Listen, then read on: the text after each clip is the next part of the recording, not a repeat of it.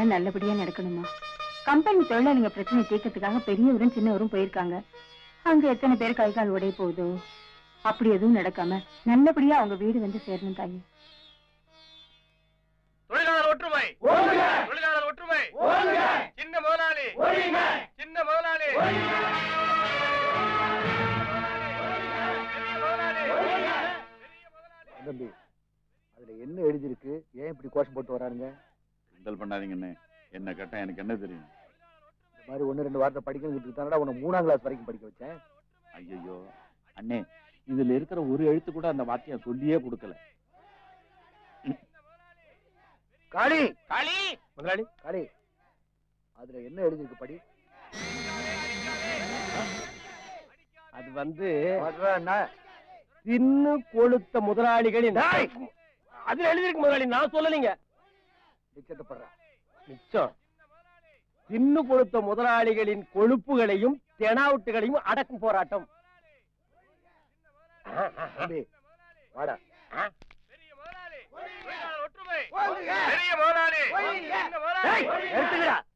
பைசாவுக்கு பிரயோஜனம் இல்லாதவனா கையில கொடிய பிடிச்சிட்டு கோஷம் போட்ட அதுக்கு பேர் போராட்டமா? எங்க தொழிலாளிகளுக்கு சம்பளத்தை கூட்டி கொடுக்கிற வரைக்கும் இந்த போராட்டத்தை கைவிட மாட்டோம். விடாதீங்க கட்டியா புடிச்சுங்க.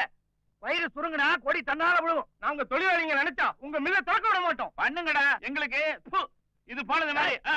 நாங்க இஷ்டப்பட்டா தாண்டா மில்ல திறப்போம். இல்லனா மூடிட்டு போயிட்டே இருப்போம். அதனால எங்களுக்கு ஒண்ணும் நஷ்டம் இல்ல. ஆனா சோத்துக்கு வழி இல்லாம சிங்கி அடிக்க போறது நீங்க தான் வாடம்பி எங்க கோரிக்கை ஏத்துக்கிட்டு இந்த பத்திரத்துல மரியாதை கையெழுத்து போட முடியுமா? முடியாதா? என்ன தம்பி கையெழுத்து போட சொல்றான் நம்மளையா? ஆமா. ஒண்ணு போட்டுருவோமா போட்டுருவோம்?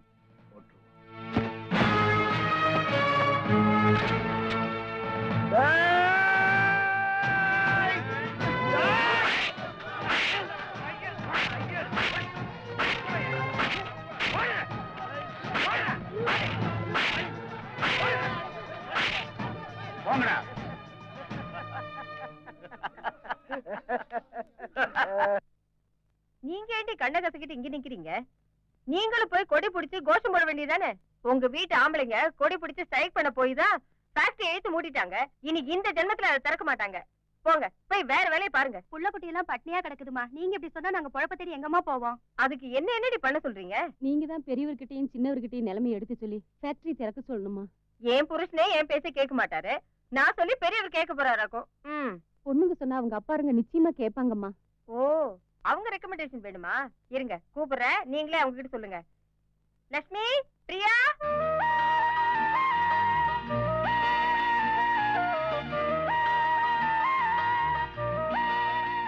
என்ன சித்தி? இவங்க உங்களை பார்க்க தான் வந்திருக்காங்க. நீங்க உங்க அப்பா கிட்ட சொல்லி சீக்கிரமா ஃபேக்டரி திறக்க சொல்லணுமா? அனாவசியமா அப்பாவையும் பெரியப்பாவையும் பத்தி ஊர்ல இருக்கிற செவரெல்லாம் என்னென்னமோ எழுதி வச்சிருக்காங்க. இவங்களுக்கு சப்போர்ட்டா நாங்க எதுக்கு சொல்லணும்? அப்படிலாம் சொல்லாதம்மா. அவங்க பிரச்சனையை நம்ம கிட்ட சொல்லாம யார்கிட்ட சொல்லுவாங்க? நீங்க எல்லாரும் போங்க. அப்பா கிட்ட பேசி சீக்கிரமே ஃபேக்டரி திறக்க வைக்கிறோம். அப்பா சும்மா பிடிவாதம் பிடிக்காதீங்கப்பா. நான் உங்களுக்கு ஒரே பொண்ணு தானே. நான் என்ன சொன்னாலும் கேப்பேன்னு சொல்லிருக்கீங்கல்ல நீ வேற எது சொன்னாலும் கேட்பேன் ஆனா ஃபேக்டரி விஷயத்துல மட்டும் தலையிடாத அப்பா நீங்க தானே பழச மறக்க கூடாதுன்னு சொல்லிருக்கீங்க அந்த தொழிலாளிங்க கஷ்டப்பட்டு உழைச்சி சம்பாதிச்ச சொத்து தானப்பா இதெல்லாம். தெரியுமா உழைப்போட கஷ்டம் எனக்கும் தெரியும். அந்த காலத்துல நானும் என் தம்பியும் வயக்காட்டு வேலைக்கு போவோம். கோழி கூவுறதுக்கு முன்னாடி போனா பொழுது சாஞ்சு தான் வருவோம். கை காய்ச்சி போற அளவுக்கு மம்பட்டியை பிடிச்சி வேலை செஞ்சோம்னா எட்டனா கூலியும் ரெண்டு வேளை கஞ்சி ஊத்துவானுங்க. அந்த கஞ்சியை கூட மட்டையில தாமா ஊத்துவானுங்க.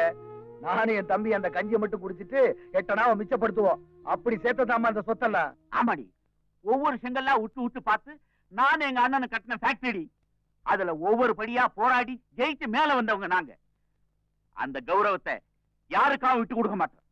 யாருக்கும் தலை குனிஞ்சு போக மாட்டோம். அப்பா ஃபேக்டரி எடுத்து மூடிட்டதால நீங்க ஜெயிச்சிட்டோம்னு நினைக்கிறீங்களா? எல்லாருமே சேர்ந்து கம்பெனியை மூட வச்சு உங்களையும் பெரியப்பாவையும் தெருவுக்கு கொண்டு வரணும்னு நினைக்கிறாங்க. இத பாருங்கப்பா நான் உங்க செல்ல பொண்ணு தானே. நான் சொன்னா நீங்க கேப்பீங்கன்னு எனக்கு தெரியும். பிடிவாதம் பிடிக்காம ஃபேக்டரி திறந்துருங்கப்பா. தம்பி தம்பி. என்னண்ணே? லக்ஷ்மி ஃபேக்டரியை திறந்து விட்டுருங்கப்பான்னு பிடிவாதம் பிடிக்கிறா. ஐய சின்னவள அதைத்தான்னு சொல்லி உயிரெடுக்கிறா இதுங்களுக்கு செல்லம் கொடுத்த வளர்த்து தப்பா போச்சு. சரிப்பா அவங்க சொல்றது நியாயமா தானே படுது.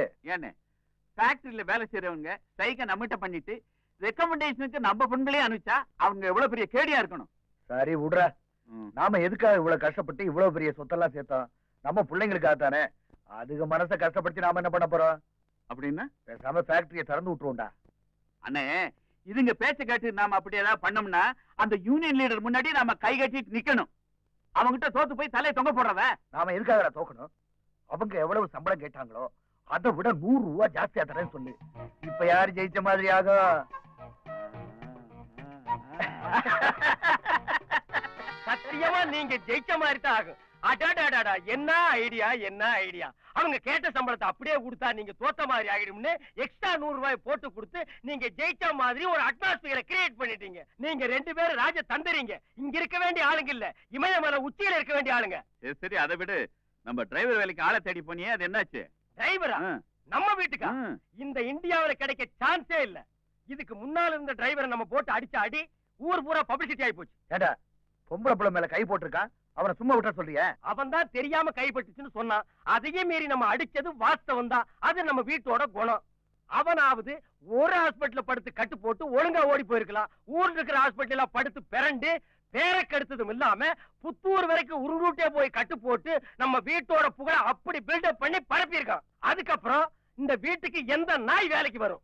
நானும் தெரு தெருவா நாயா அலையிறேன் தெருவுல போற நாய் ஒண்ணு என்ன பார்த்து லுக்குடுது பதிலுக்கு நானே என்ன லுக்குட்டேன் ஹம்.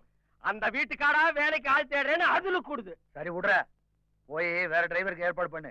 அப்படியே நம்ம கம்பெனிக்காரங்க வெளியில நின்னுகிட்டு இருக்காங்க. அவங்க கேட்ட சம்பளத்தை விட நூறு ரூபாய் ஜாஸ்தி போட்டு தர முதலாளிங்க சம்மதிச்சுட்டாங்கன்னு போய் சொல்லு. நூறு ரூபாய் பெரிய அமௌண்ட் இங்க பாருங்கம்மா. பெரியவர் சின்னவர் சேர்ந்து ஃபேக்டரியை திறக்கிறதா முடிவு பண்ணிட்டாங்க. உங்க வீட்டுக்காரர் எல்லாம் கேட்ட சம்பளத்தை விட நூறு ரூபாய் கூட தரதாவும் சொல்லிட்டாங்க. அப்புறம் பேசாம இருக்கிறீங்க. பெரிய முதலாளி சின்ன முதலாளி வாழ்க்கைன்னு கோஷம் போட்டு போங்க. பெரிய முதலாளி! கேக்குதா? முதலாளி! பெரிய முதலாளி! முருகா.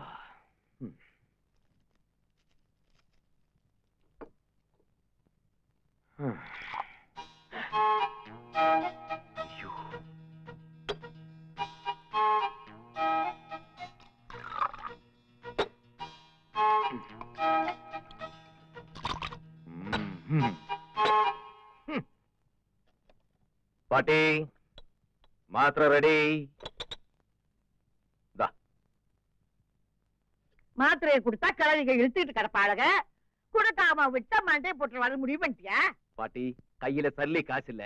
இந்த நேரத்துல மண்டைய போட்டுரும் அது இதுன்னு புலம்பாதை சாப்பிடு. ஏண்டா மண்டைய போட்டா காரியம் செய்யக்கூட அவங்ககிட்ட காசு இல்ல? இருக்கு நிறைய இருக்கு. எல்லாத்தையும் ஒரு பானையில போட்டு மூடி வீட்டுக்கு பின்னாடி புதைச்சு வச்சிருக்கேன். அப்ப அதுல இருந்து கொஞ்சம் எடுத்து எங்களுக்கு செலவு பண்ணு. கிளவி காலையில எரிச்சிட கலப்பாரு சாப்பிடு. ஏண்டா எப்பேற்பட்ட பொழப்பு பொழைச்சு வாடா நானு?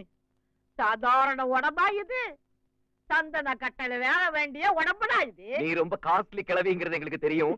காலையில பிளாஷ்பேக் போட்டு அறக்காத நான் இன்னும் ஆம்பளைங்க வாடகைக்கு வர போனோம். கோபாலா கோபாலா இன்னும் ரெண்டே ரெண்டு மாத்திரை கிடுற. இது என்ன கிளவி அரிசி மிட்டாய் நினைச்சியா? ஞம் ஞம் ஞம் ஞம் ஞம் ஞம் திட்டுறதுக்கு. பேசாம கொடுத்தா சாப்பிட்டு பாரு. அப்பா. அப்பா. என்னடா? இப்படி படுத்துக்கிட்டு தூங்க கூடாதுன்னு டாக்டர் சொல்லிருக்காருல்ல? சரி அப்ப இப்படி படுத்து தூங்குறேன். அப்போ. அப்பா. கொஞ்ச நேரம் உட்கார்ந்து ரெஸ்ட் எடுத்துட்டு அப்புறமா தூங்குங்க சாப்பிடுங்க.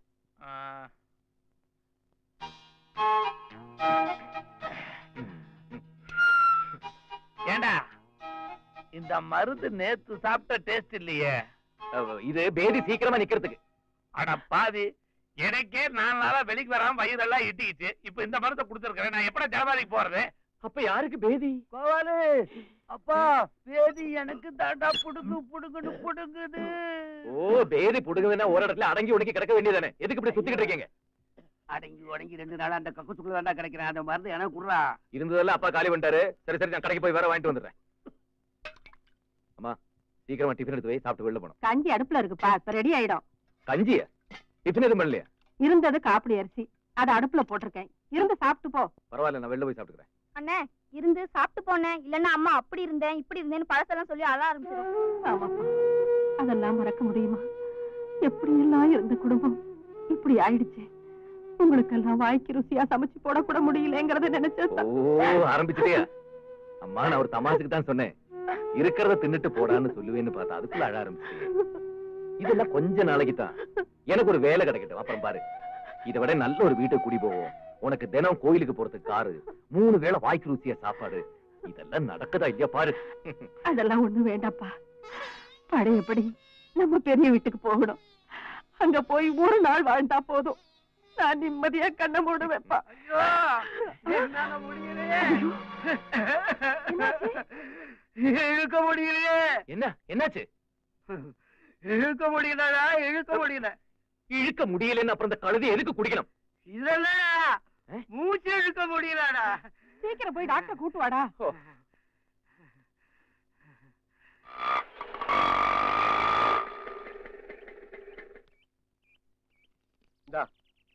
போட்டு கொடுங்க. போகும்போது சும்மா தான் போகணும். ஏன் ஒரு கல் எடுத்து கொடுக்க உள்ள வச்சு ரோடோட போயா? காலங்காத்தால டென்ஷன் பண்ணாதீங்க. டென்ஷனோ டென்ஷன் டென்ஷன் என்ன சார் பிரச்சனை? சார் வழியில ஒரு யானை அடிச்சிட்டான் சார். யானை ஆட்டோலயா? சாரி பூனை அடிச்சிட்டான். ஓஹோ. அது இருக்கட்டுங்க இங்க ஒரு டிரைவர் இருந்தானே இங்க. அவன் போய் ரொம்ப நாள் ஆச்சு ஏன் சம்பளம் கொடுத்தா வேலையை விட்டு துரத்தி விட்டீங்களா? இல்ல வண்டியே தூக்கிட்டு போயிட்டான். என்னையா வண்டியை தூக்கிட்டு போயிட்டாரு? சிரிச்சுட்டு சொல்றீங்க. போலீஸ் ஸ்டேஷன் கம்ப்ளைண்ட் கொடுக்க வேண்டியதானே எதுக்கு? நாங்களே அவனுக்கு சம்பளம் கொடுத்து மூணு வருஷம் ஆகுது. சம்பள பாக்கிய சொல்லி அவனே ஒரு தொகையை போட்டு கொடுத்து வண்டியை தூக்கிட்டு போயிட்டான் இப்ப டாக்ஸியே ஓட்டிட்டு இருக்கான். என்னய்யா டிரைவர் எல்லாம் வண்டி கொடுத்து முதலாளி ஆக்கிட்டீங்க. இனி நான் டிரைவருக்கு எங்கய்யா போவேன்? Sir sir sir sir. என்ன? நீங்க டிரைவர் வேலைக்கு தானே ஆள தேடுறீங்க? ஆமா. எந்த வீட்டுக்கு? பாபா பிரதர்ஸ் முதலாளி வீட்டுக்கு. ஏன்? இல்ல நல்ல நம்பிக்கையான நாணயமான நல்ல ஒரு பையன் கிட்ட இருக்கான். சேர்த்து விடலாமே பார்த்தேன். வர சொல்லு. நல்ல சம்பளம் கிடைக்கும்ல? அதெல்லாம் அடிச்சு விடுவானுங்கய்யா எக்ஸ்ட்ரா கிடைக்கும்ல? எக்ஸ்ட்ரா மட்டுமா? கைமா கால்மா கில்மா இன்னும் பின்னு பின்னு பின்னி போடுவானுங்கய்யா வேலை பர்மனன்ட் தானே. யோ, அவனை வேலைக்கு வர சொல்லியா? மூணு தலைமுறைக்கு அவனையே சேவகம் பண்ற மாதிரி பட்டாவை எழுதி கையில கொடுக்க சொல்ற. ஆளு யாரு? அஹ், நான் தான் ஆ? நீயா. நீதான் அந்த நல்ல பையனா? அவனுக்கு கேக்குற குவாலிபிகேஷன்ல ஒண்ணு கூட உங்ககிட்ட இல்ல. உன்னை எப்படியா வேலைக்கு சேர்த்துக்குவானுங்க. அது என்ன குவாலிபிகேஷன் சார் நீ என்ன படிச்சிருக்க? பிகாம் ஃபர்ஸ்ட் கொஸ்டின்லயே நீ அவுட் ஆள விடு. சார் நான் அப்புறமா எல்எல்பி எம்கோ அப்படியே தான் படிச்சு பாஸ் பண்ணிக்கிறேன் சார் இதுவே ஜாஸ்திங்கிற இன்னும் அதிகம் படிக்கிறாங்கறியா? அந்த காம்பவுண்ட்லயே அவனோட அதிகம் படிச்சவங்க யாரும் இருக்க கூடாது அப்படி ஒரு காம்ப்ளெக்ஸ் பிடிச்சவனுங்க. அவங்க எதுவரை படிச்சிருக்காங்க? அவனுக்கு படிக்கவே இல்ல. சும்மா எல்லாம் இதே மாதிரி தான் அப்படின்னா ஏதோ எல்கேஜி யூகேஜி தான் படிச்சிருக்கேன். அப்புறம் ஸ்கூலுக்கே போல சொல்லி சேர்த்து விட்டுருங்க. யோ, அவனுக்கு பள்ளிக்கூடம் பக்கமே போகலங்கிற நீ கான்வென்ட் எங்கேயும் மெயின்டைன் பண்ணிட்டு இருக்கிய? நீ ரொம்ப ரொம்ப பிடிச்சவையா சார் எப்படியாவது சேர்த்து விட்டுருங்க சார் சரி விடு. அது வேணா எப்படி சமாளிச்சு சேர்த்து விட்டுலாம் ஆனா அவனுக்கு கேக்குற பர்சனாலிட்டி உங்ககிட்ட கொஞ்சம் கூட இல்லையாம்மா. அது அந்த மாதிரி பர்சனாலிட்டி சார்? சும்மா பங்கர பக்கிரி மாதிரி கேக்குறானுங்க. நீ நல்லா முழுமோன்னு இருக்கிய முடியெல்லாம் கழிச்சு விட்டுறேன். சட்டை எல்லாம் கிழிச்சிடுறேன். எப்படியாவது அந்த வேலையை வாங்கி கொடுங்க சார். ஒரே அடியா பிச்சை கேட்கறேன்னு வந்துட்டியே. ரொம்ப காய்ச்சப்பாடாமா? சார் வீட்டுல ஏழு உருப்படி பசியும் பட்னியுமா கிடக்குது. ஏதோ இந்த வேலையை போட்டு கொடுத்தா ஒருவேளை சாப்பாடாவது அவங்க நிம்மதியா சாப்பிடுவாங்க. சரி விடு. உன்னை எப்படி சொல்லி சேர்க்கணுமோ அப்படி சேர்த்துறேன். போயிட்டு வரேம்மா. ஏப்பா அந்த டிரைவர் வேலைக்கு போய்த்தான் ஆகணுமா? என்ன? டிரைவரா அ. என்கிட்ட மேனேஜர் வேலைன்னு சொன்ன? மேனேஜர் தான் தாத்தா. இல்லையே அந்த ஆள் ஏதோ டிரைவர் வேலைன்னு சொன்ன மாதிரி இருந்துச்சு. அப்பா. நான் மேனேஜர் தான். ஆனா எனக்கு ஒரு காரை கொடுத்து நீயே ஓட்டிக்கன்னு சொல்லிட்டாங்க. அப்படின்னா அந்த டிரைவர் வேலைன்னு சொன்னது? நான் போறேன். போறேன்னு சொல்லாரா போயிட்டு வரேன்னு சொல்லு. போயிட்டு வரேன்.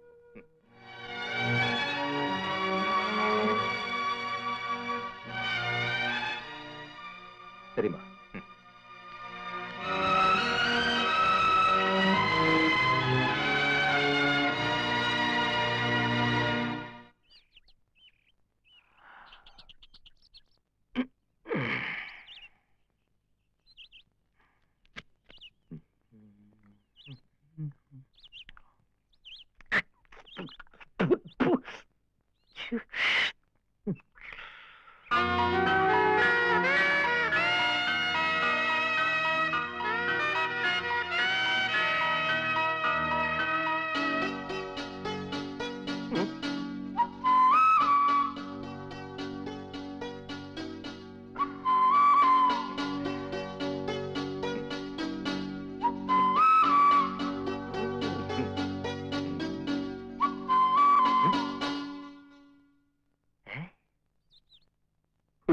ஐயோ அவன் பேர் என்ன சொன்ன? ஆ கோபாலகிருஷ்ணனுங்க.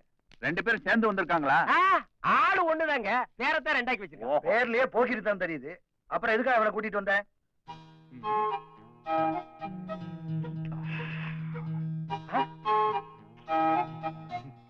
தம்பி ஆ? இவன் சரியா வர மாட்டான் வா ஐயோ. என்னங்க பிரச்சனை? அவன் பெரிய நடிப்புக்காரனா இருப்பான் போல் இருக்கு. காரு மேல பாசம் உள்ளவன தான் வேலைக்கு வச்சுக்கோன்னு சொல்லி காருக்கு முத்தம் கொடுத்து நடிப்பு அடிச்சுட்டான் பாரு. ஐயோ முத்தம் கொடுக்கலீங்க. உள்ள என்ன இருக்குன்னு உத்து பாத்துட்டு இருக்காங்க. ஏண்டா பொம்பளை பிள்ளைங்க இருக்கிற வீடு வயசானவனை கூட்டிட்டு வாடான்னா வயசு பையனை கூட்டிட்டு வந்திருக்கிறீங்க. ஐயய்ய இந்த காலத்துல நரைச்ச தலைக்காரங்களை நம்ப கூடாதுங்க தலைக்கு டை போடுற மாதிரி பொண்ணுங்க மேல கை போட்டுருவானுங்க. இவனுங்க இருக்கானுங்களே தொட்டா வெட்டி போடுவீங்கன்னு கொஞ்சம் எட்டியே இருப்பானுங்க. இந்த பாருங்க ஏஜ் தான் டுவெண்ட்டி எயிட் ஆத்தி எட்டு வயசு. பச்சை குழந்தைக்கு இருக்க மாதிரி இருக்கு. வேணா டெஸ்ட் பண்ணி பாக்குறீங்களா இந்தப்பா அந்த லெஃப்ட் சைடு ஓபன் பண்ணி காட்டு. ஓபன் பண்ணியா. அண்ணே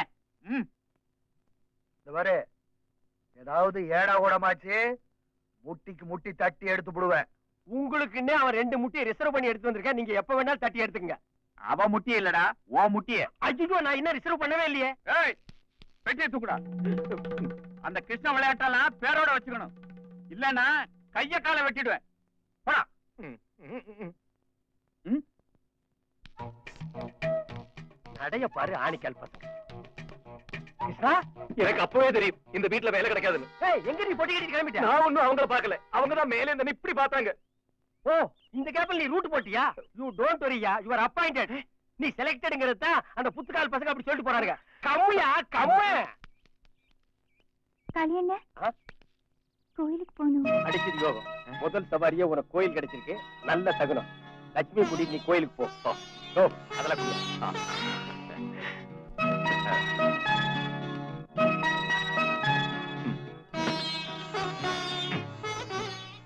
இந்த ட்ரெஸ்லயா கோயிலுக்கு வரீங்க?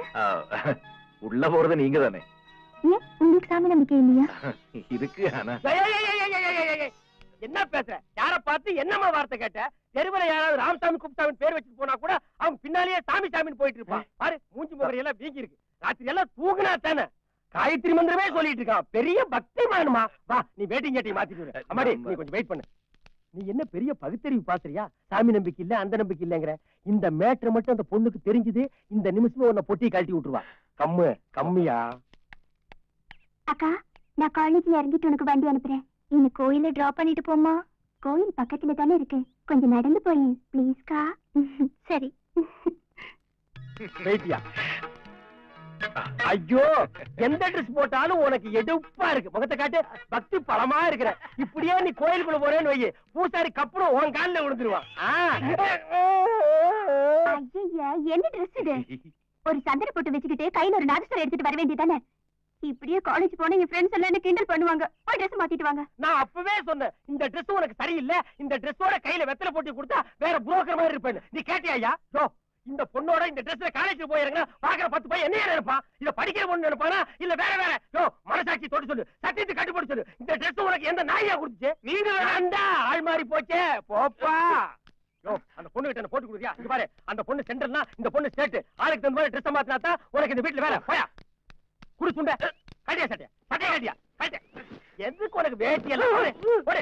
போய் ட்ரெஸ் மாத்த. இதே உக்கணுமா? பிரியாமா நீ காலேஜ் போகணுமா? ஆமாப்பா. நான் அண்ணனும் அக்கா கல்யாண விஷயமா வெளிய போறோம். நீ ஒரு ஆட்டோ பிடிச்சு போமா சரிப்பா. அட்டகாசமா இருக்கிற. நெல்லு. ஆ இந்த Dress தான் உனக்கு எடுப்பா இருக்கு. கண்ணாடி. அதை விட சூப்பர் இப்படியே நீ ஆந்திரா பக்கம் போனேன்னு வையே. உன்னை அல்வா மாதிரி அள்ளிக்குவாங்க வா. கண்ணு தெரியுதா? இல்ல குத்து மதிப்பா வர்றியா? இல்ல தெரியுது. ஏ வேணாம். போய் சொல்லிட்டாங்க போய் குப்பிடுங்க மூக்கு உடைஞ்சு போயிரு. தெரியுது. இது எத்தனை இது? ஆறு. ஓ அஞ்சியா? ஓ, வா. அண்ணே இவனை பார்த்தா டிரைவர் வேலைக்கு வந்த மாதிரியா இருக்கு. டிரைவர் டிரைவர் ஏண்டா? இவனை கார் ஓட்ட கூட்டி வந்தியா இல்ல சினிமாவில் நடிக்க கூட்டிட்டு வந்தியா? இப்படி எல்லாம் சோடிச்சு சிங்காரிக்கிற வேலை வச்சுக்காத. ஐயா அம்மனி காலேஜுக்கு காலேஜ் போறோம் அவன் இறக்கி விடவனுக்கு எதுக்குற இந்த வயசு இல்ல இவருதானுங்க இந்த மாதிரி ட்ரெஸ் எல்லாம் ஐயா எங்களுக்கு பிடிக்காது சொன்னா கேக்குறியா நீ? என்ன கண்ணாடி இது? ஸ்கூலுக்கு போற கண்ணாடி காலேஜ் போற கண்ணாடி அது. ப்ளீஸ் ப்ளீஸ் ப்ளீஸ் இல்ல இல்ல இல்ல. அஹ், இனிமே இந்த விளையாட்டுக்கு நான் வரல. என்ன என்ன இழிச்ச வாய் நினைச்சீங்களா? ஒவ்வொருத்தர் வண்டியில உட்காரும் போது நான் ஒவ்வொரு வேஷத்துல வண்டி ஓட்டணுமா? எல்லாருமா சேர்ந்து உட்கார்ந்து நான் துணியிலாம வண்டி ஓட்டணுமா? அதுவும் நடக்கலாம். அதுக்கு மேலையும் நடக்கலாம். இப்ப என்ன சொல்லிட்டாங்கன்னு ரொம்ப சிலிப்பிக்கிற? என்ன உடம்பு பூரா ப்ளூ பெயிண்ட் அடிச்சிட்டு ராமர் வேஷம் போட சொன்னமா? இல்ல பொச்சுக்கு பின்னால வாழை ஒட்டிட்டு அனுமார் வேஷம் போட சொன்னமா? ஏதோ குழந்தை பிள்ளை ஆசைப்பட்டா ட்ரெஸ் மாத்திட்டு போப்பா. அவங்க குழந்தை பிள்ளைங்க இவங்க குழந்தை பிள்ளைங்களா? அவனுக்கு அறிவில்லாத காட்டு பண்ணீங்க. அதுக்கு என்ன செய்ய சொல்ற? நான் இந்த வீட்டுல வேலை பாக்குறேன் யோ உனக்கு ட்ரெஸ் ப்ராப்ளம் ஆமா. இனிமே வராதியா? உனக்கு பர்மனண்டா நானே ஒரு ட்ரெஸ் கொண்டு வரையா யாரா நீ? ஏன் ரூம்ல என்ன பண்ணிட்டு இருக்க? டிரைவர் டிரைவரா ஒரு டிரைவர் ஏன் சட்டை ஏன் பேட்டை போட்டு நிக்கிற. யார் உன்னை போட சொன்னது?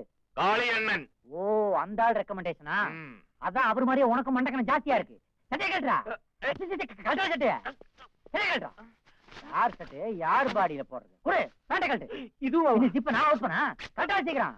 அவரு சொன்னாரு இவரு சொன்னாருன்னு இனிமே இந்த மாதிரி தில்லுமுள்ளு வேலை பண்ண ஒற்றையடி உன் ஷேப்பே மாத்தி வந்துருமா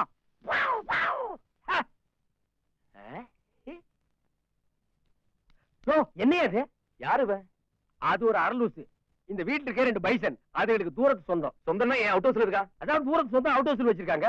இதுல எல்லாம் நடுவீட்டுல வச்சுக்க முடியுமா? ஏன் ஏதாவது பண்ணிருச்சா? கடிச்சிருச்சு. அது லைட் கடி இருக்குதான் செய்யும். இந்தா இந்த ட்ரெஸ் போட்டுட்டு வா. இல்லன்னா அந்த பைசனுக்கு உன்னை பெரிய கடி கடிச்சு வச்சிரும்.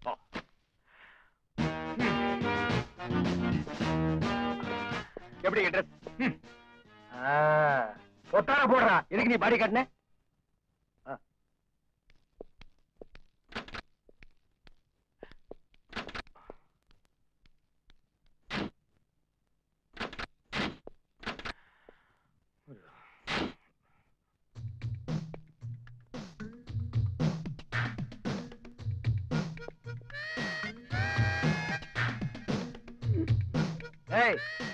வண்டி எடுக்க சொன்னா அங்க என்ன சர்க்கஸ் பண்ணிட்டு இருக்க?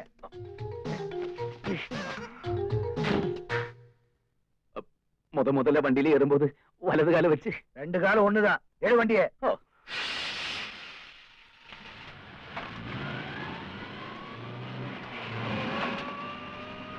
லட்சுமி என்ன இன்னைக்கு ரொம்ப ஸ்டைலா வந்திருக்கீங்க? இன்னைக்கு என்ன நாள் தெரியுமா. என்னுடைய வாழ்க்கையில நான் சந்தோஷப்படுற ஒரே நாள். புரியல. நான் முத முதல்ல உனக்கு லவ் லெட்டர் கொடுத்ததுக்காக சின்ன. மாமாவும் பெரிய மாமாவும் போட்டு என்ன அடிச்சு உதைச்சாங்களே அந்த அற்புத நாள். அது நடந்து இன்னியோட ஒரு வருஷம் முடிய போகுது. அப்படி லவ் ஸ்டோரிக்கு வயசு ஒண்ணு.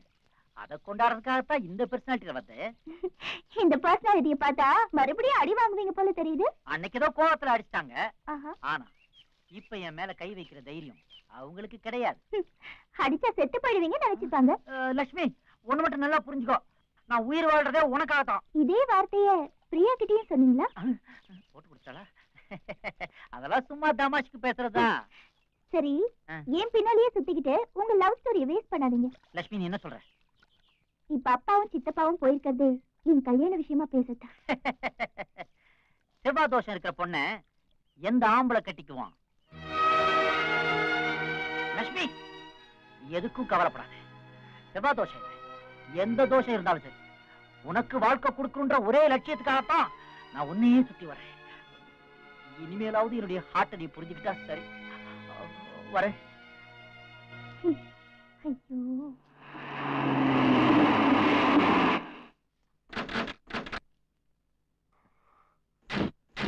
கிருஷ்ணா நீ வண்டி தொடச்சிட்டு இதை வந்துடுறேன். ஓ போன காரியம் என்னாச்சு? என்ன உனக்கு என்னடா? இல்லண்ணே லட்சுமி கல்யாண காரியமா போறீங்களா? அது என்னாச்சுன்னு கேட்டா அதுக்கு என்ன அடிக்கிறீங்க? எவனோ ஒரு விருந்தாளிக்கு பிறந்த பையன் நாங்க எங்க போனாலும் எங்களுக்கு முன்னால ஓடி போய் அந்த பொண்ணுக்கு செவ்வாய் தோசை இருக்கு அதை கட்டிக்காதீங்கன்னு கரைச்சு விட்டுக்கிட்டே இருக்கான். ஒரு பொம்பளை புள்ளியோட வாழ்க்கையில விளையாண்டுட்டு இருக்கான். அவன் மட்டும் என்கிட்ட கிடைச்சா உனக்கு தான்டா சொல்றேன். சரி. கடிச்சு துப்பிடும் ஆமா.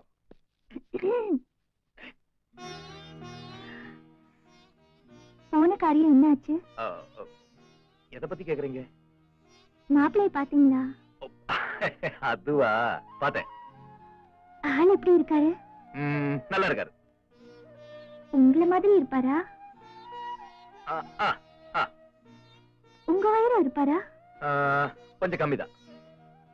நிறம் உங்கள மாதிரி சிவப்பா இருப்பாரா? அதுவும் கம்மிதான். அப்படி ஏன் உங்கள மாதிரி இருப்பாருன்னு சொல்றீங்க? லட்சுமி கிட்ட என்னடா பேசிட்டு இருக்கிற நீ? தோ நிக்குது பாரு. இது மாதிரி தான் இருக்கும். இத பார்த்தா அதை பார்க்க வேண்டாம். ஐயா ச்சே. அப்ப எனக்கு அது வேண்டவே வேண்டாம். லட்சுமி கிட்ட என்ன பத்தி என்னடா சொன்ன? கையிடுறா. மேல கைய வைக்கிற வேலையெல்லாம் வச்சுக்காத. விட்டனா பல்லு பக்கடா கழண்டுடும் நான் யாரு நினைச்சுக்கிட்டு இருக்கேன்? யார பார்த்து பல்ல உடைப்பேங்கிற? நான் நினைச்சா உன்னைய பார்சல் பண்ணி வீட்டுக்கு அனுப்பிச்சிருவேன் தெரியுமா? இரு உன்னை போட்டு கொடுக்குறேன். எவனோ ஒருத்தன் நம்ம குடும்பத்தை கெடுக்கணும்னே சுத்திட்டு இருக்கான். அந்த ராஸ்கோல் மட்டும் என் கையில கிடைச்சா ஒன்னு கொளுத்தி விடுவேன் கொளுத்தி. அண்ணே இந்த சம்மந்தம் போனா போட்டு விடுங்க அண்ணே. லட்சுமிக்கு இதை விட நல்ல இடத்துல மாப்பிள்ளை கிடப்பான் பாருங்க. அது கிடைப்பான் தம்பி. ஆனா அந்த சம்பந்தக்காரன் முன்னால நாம பதில் பேச முடியாம கை கட்டி நிக்க வச்சுட்டானே. லட்சுமி ஜாதகத்துல ஒரு சின்ன குறை இருக்கு. இல்லன்னு சொல்லல. அதை சரி பண்ணி மாத்தி எழுதிட்டு போனா அதையும் அங்க போய் சொல்லி தலைமுடிய வச்சுட்டானே. அந்த கேப் மாதிரித்தனமான வேலையை யாரு பண்றாங்கன்னு இப்பதான் எனக்கு லைட்டா தெரியுது. ஆள் பாக்குறதுக்கு தேவாங்க மாதிரி இருக்கும். ஒரு புல் கை சட்டை போட்டுட்டு இந்த ஏரியாவில் தான் சுத்துது. அந்த தேவாங்கு தான் குருட்டு கண்ணை மறைக்கிறதுக்கு ஒரு கூலிங் கிளாஸ் போட்டுட்டு சுத்துது.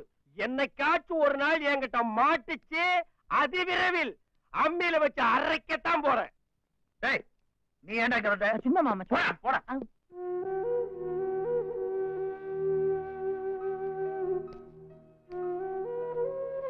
லட்சுமி பாருமா இந்த ஜாதகம் தோஷம் இதெல்லாம் சுத்த பொய்மா எது எப்படி இருந்தாலும் சரி உன் கல்யாணத்தை ஜாம் ஜாம் நடத்துறா இல்லையா பாரு. எனக்கு வேற எந்த கவலையும் இல்லப்பா. என்னோட கல்யாணத்துக்காக நீங்க படுற கஷ்டத்தை நினைச்சாதான் கவலையா இருக்கு. என்னதான் பணம் இருந்தாலும் ஒரு பொம்பளை பிள்ளைக்கு கல்யாணம் பண்றதுன்னா சாதாரண விஷயம் இல்லம்மா. அதுலயும் ஓ மனசுக்கு பிடிச்ச மாப்பிள்ளையா கிடைக்க வேண்டாமா? இந்த பாருமா இனிமே உன் கண்ணுல இருந்து கண்ணீர் வரக்கூடாது. நீ கண் கலங்குனா அதை என்னால தாங்கிக்க முடியாதுமா அண்ணே? என்ன நீங்க நின்னுட்டு இருக்கீங்க எஸ்டேட் எல்லாரும் நமக்காக காத்துக்கிட்டு இருக்காங்க தம்பி எனக்கு மனசு சரியில்லை. நீ மட்டும் போயிட்டு வா. சரி நான் போயிட்டு உங்களுக்கு லெட்டர் போடுறேன். லெட்டர் போடுறியா? ஆ. உனக்கு எழுத தெரியுமா? உங்களுக்கு மட்டும் படிக்க தெரியுமா? அண்ணன் சிரிச்சாச்சு அண்ணன் சிரிச்சாச்சு. அண்ணே நீங்க இங்க இப்படி இருக்கும்போது நான் அங்க போனா எனக்கு எந்த வேலையும் ஓடாதுண்ணே. சிரிச்ச உங்க முகத்தை நான் பார்த்துட்டு போனா தான் எனக்கு நிம்மதி. இப்ப நிம்மதி தானே? அப்ப நான் போயிட்டு ரெண்டு நாள்ல வந்துடுறேன். பத்திரமா போயிட்டு வா.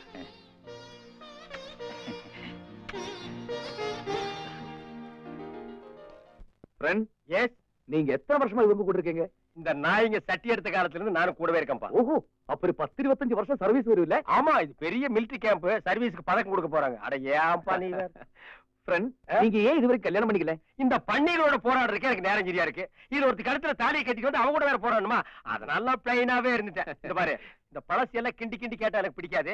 காலையில எத்தனை மணிக்கு எந்திரிப்பேன் குளிக்கிறதுக்கு சுடு தண்ணி ரெடி பண்ணி வச்சுட்டு சுட சுட காஃபியோட என்ன எத்தனை மணிக்கு கூப்பிடுறீங்களோ அத்தனை மணிக்கு நான் எந்திரிச்சிடுறேன். அப்புறம் ஃப்ரெண்ட் எனக்கு டிஃபனுக்கு அது வேணும் இது வேணுங்கிறதெல்லாம் கிடையவே கிடையாது. ஏதோ உங்களால முடிஞ்ச மாதிரி இட்லி தோசை ஆப்பம் முட்டைக்கறி பாயா அந்த ரேஞ்சுக்கு போதும். முடிஞ்சா முடிஞ்ச ரெண்டு ஆஃப் பாயில் போட்டு கொடுங்க. சத்தியமா நான் கேக்குறேன் உன் வாழ்க்கையில இதுக்கு முன்னாடி இதெல்லாம் வாங்கி தின்றுக்கிறியா இல்ல இடிச்சு வாங்கி ஒருத்த மாட்டிக்கிட்டா இன்னைக்கு இவங்கிட்ட வாங்கி திங்கலான்னு சொல்றியா? இங்க பாரு நீ கலெக்டர் இல்ல டிரைவர் இது கெஸ்ட் ஹவுஸ் இல்ல அவுட் ஹவுஸ் ஞாபகம் வச்சுக்க. ஃப்ரெண்ட் இதுல இருந்து உங்களுக்கு என்ன தெரியுது? இதுக்கு முன்னால எங்கேயோ தைய கடையில வேலை செஞ்சிருக்கேன்னு தெரியுது. அது இல்ல. அந்த கால் இப்படி உங்களை வா வா வான்னு கூப்பிடுற மாதிரி இல்ல? என்னை வா. எதுக்கு? அப்படியே கொஞ்சம் அமுக்கி விட்டீங்கன்னா அசந்து தூங்கிடுவேன். அம்மா பழக்கப்படுத்தி விட்டுருச்சு. இங்க யாராவது அம்மா கிடைக்குமா? இப்ப அம்மா கேப்ப அப்புறம் அம்மனி கேப்ப என் தொழிலையே மாத்திருவேன் இங்க பாரு நீ டிரைவர் டிரைவர் டிரைவர் காலையில டிரைவர்னு கூப்பிட்டா எழுதி சொல்லியாகணும் இவங்கிட்ட எல்லாம் கேட்க வேண்டிய விதி ஆகி போச்சு. என்ன பண்றது? இந்த வீட்டுக்கு தான் எந்த நாய் வர மாட்டேங்குது படியா சுகமா போத்திக்கிட்டு தூங்குறியா? இருவனை என்ன பண்றேன் பாரு. என்னடா? ஐயோ பேய் பேய் ஏயாவது நாயாவது பெரிய மாமா கூப்பிடாரு வாடா. அது ஏய், வாடா. மாமா. என்னடா? இல்ல காவலுக்கு ஆள் வேணும்னு சொன்னீங்கல்ல. அதான் விஷயத்த சொன்ன உடனே நான் தான் போவேன்னு அடம் பிடிக்கிறான் மாமா. அதான் உங்ககிட்ட ஒரு வார்த்தை சொல்லிட்டு கூட்டு போலாமே ஆமா ராத்திரில தனியா படுத்துக்கிறதுக்கு உனக்கு பயம் ஒண்ணு இல்லையே? எனக்கு பயம் பயமா? என்ன மாமா? ஒத்தையா விட்டாலே அஞ்சு பேரை சமாளிப்பான். இவங்கிட்ட போய் பயம்ங்கிறீங்களே. ஆம்பளைன்னா அப்படிதான் இருக்கணும். களத்து மேட்ல இருந்து நெல் மூட்டை வீட்டுக்கு வர வரைக்கும் காவலுக்கு நம்பிக்கையான ஒரு ஆள் வேணும்னு நினைச்சேன். நீயே வந்துட்ட. சரி போ. தோட்டம் எங்க இருக்கு தெரியுமில்ல? தெரியும் நான் எதுக்கு இருக்கேன் மாமா? நீங்க போங்க. நான் கூட்டு போய் களத்து மேட்ல படுக்க வச்சுட்டு அப்புறம் வரேன் மாமா. போங்க மாமா. வா மாப்பிள்ள. அது பாட்டி.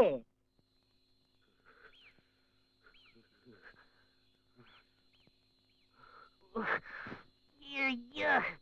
What? Thank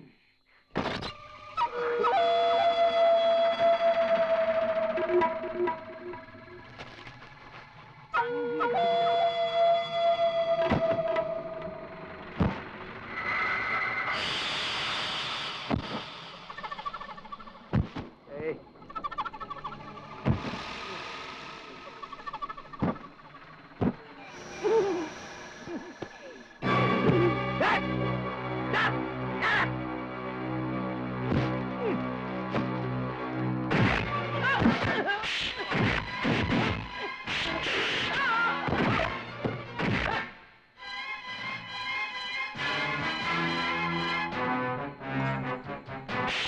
பாடி முதலாளி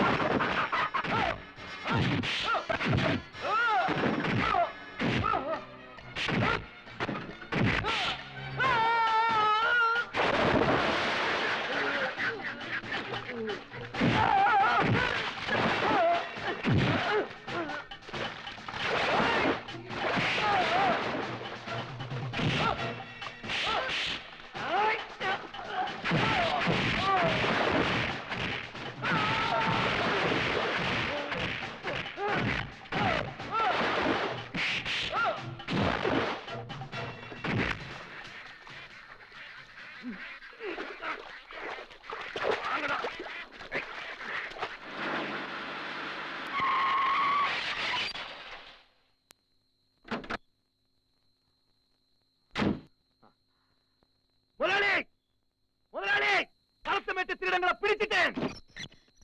இங்கதான் இருக்கிறாங்க. வாங்க.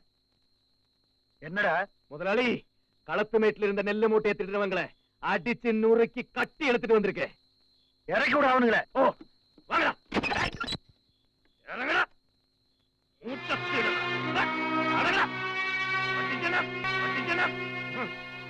முதலாளி மூட்டை மூட்டையா வண்டியில ஏத்திட்டு இருந்தாங்க.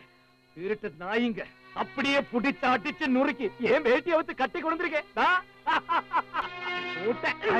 அட பாவி. இவங்கள பார்த்தா திருட மாதிரி தெரியுதா உனக்கு? இவங்க ரெண்டு பேரும் என் கூட பிறந்த தம்பிங்கடா. அவங்கள போய் திருடன்னு சொல்லி அடிச்சு கட்டி கூட்டு வந்திருக்கேன் மூணு வேளை இந்த வீடு சோத்த கொட்டிட்டியே அந்த திமிரா உனக்கு. இனி ஒரு நிமிஷம் கூட இந்த வீட்டுல இருக்க கூடாது போ வெளியே. இப்பவே பொட்டியை தூக்கிட்டு போ. போடா. போடா. நீ நில்லுடா. ஏண்டா? இந்த ராத்திரில உங்க ரெண்டு பேருக்கு அங்க என்னடா வேலை? அது வந்து நெல்லு மூட்டையெல்லாம் குடோண்ட குடோன்ல நெல்லு மூட்டையா? வேலை வெட்டி இல்லாம வீட்டுல உட்கார்ந்து தெண்டச்சோறு சாப்பிடறது இல்லாம இந்த வேலையை செய்ய ஆரம்பிச்சிட்டீங்களா? இந்த ரெண்டு பையனை அடிச்சு வெளியே நல்லா நல்லா. வேட்டி. சரி சரி.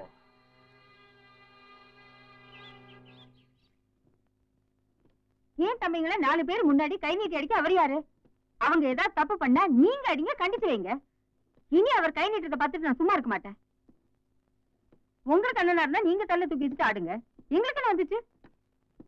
அண்ணனா பெரிய அண்ணன். ம், ம். பத்து வருஷத்துக்கு மூத்தவரா இருந்து குழந்தையில இருந்து கைய பிடிச்சு ஊட்டி வளர்த்தவரா இருந்தாலும் பரவாயில்ல. வெறும் பத்து நிமிஷத்துக்கு முன்னால பிறந்திருக்காரு அவரை போய் அண்ணன்ட்டு ம்.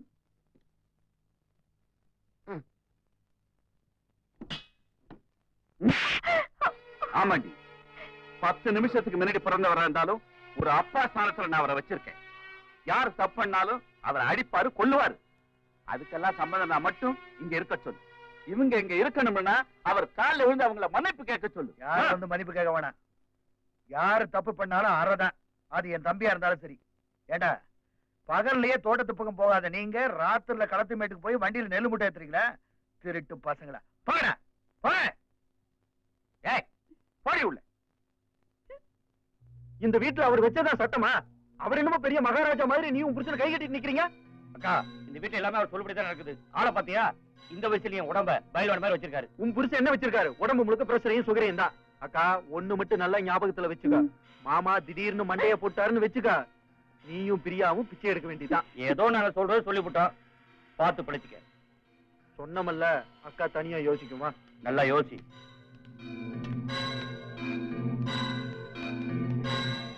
அடி! வேண்டாம் வாங்க.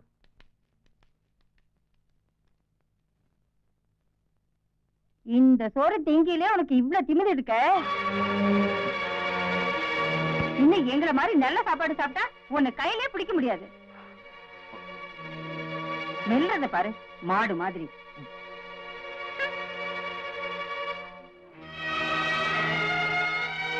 இருங்க. சித்தி எப்பவுமே இப்படித்தான். பட்டு பட்டுன்னு பேசிடுவாங்க அவங்க சொன்ன எதையும் மனசுல வச்சுக்காம சாப்பிடுங்க. வேண்டாங்க எனக்கு பசிக்கல. உட்காருங்க. நீ போம்மா.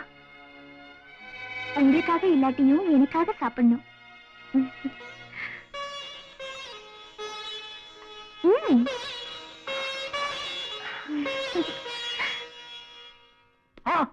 லட்சுமி இங்க என்ன பண்ணிட்டு இருக்க? உன்னை பெரிய மாமா கூப்பிடுறாரு போ. நீங்க திருப்தியா சாப்பிட்டதுக்கு அப்புறம் தான் எழுந்திருக்கணும். ஏன் சார்? நீங்க முதலாளி அம்மா பரிமாறினா சாப்பிடுவீங்களா? ஆமா. அதோட ருசியே தனிதான். ஆ, நானும் இந்த வீட்ல ஒரு முதலாளி தான். நான் பரிமாறுறேன். சாப்பிடு. சும்மா சாப்பிடுங்க. இது என்னன்னே தெரியல. இதை சாப்பிடு. இதை சாப்பிடு. இதை நீ பார்த்துருக்கவே மாட்ட. இதையும் சாப்பிடு. இந்தா தயிர் போட்டுக்கோயேன் நல்லா சாப்பிடு. நல்லா சாதத்தை பிசைஞ்சு ஒரு அடி அடி.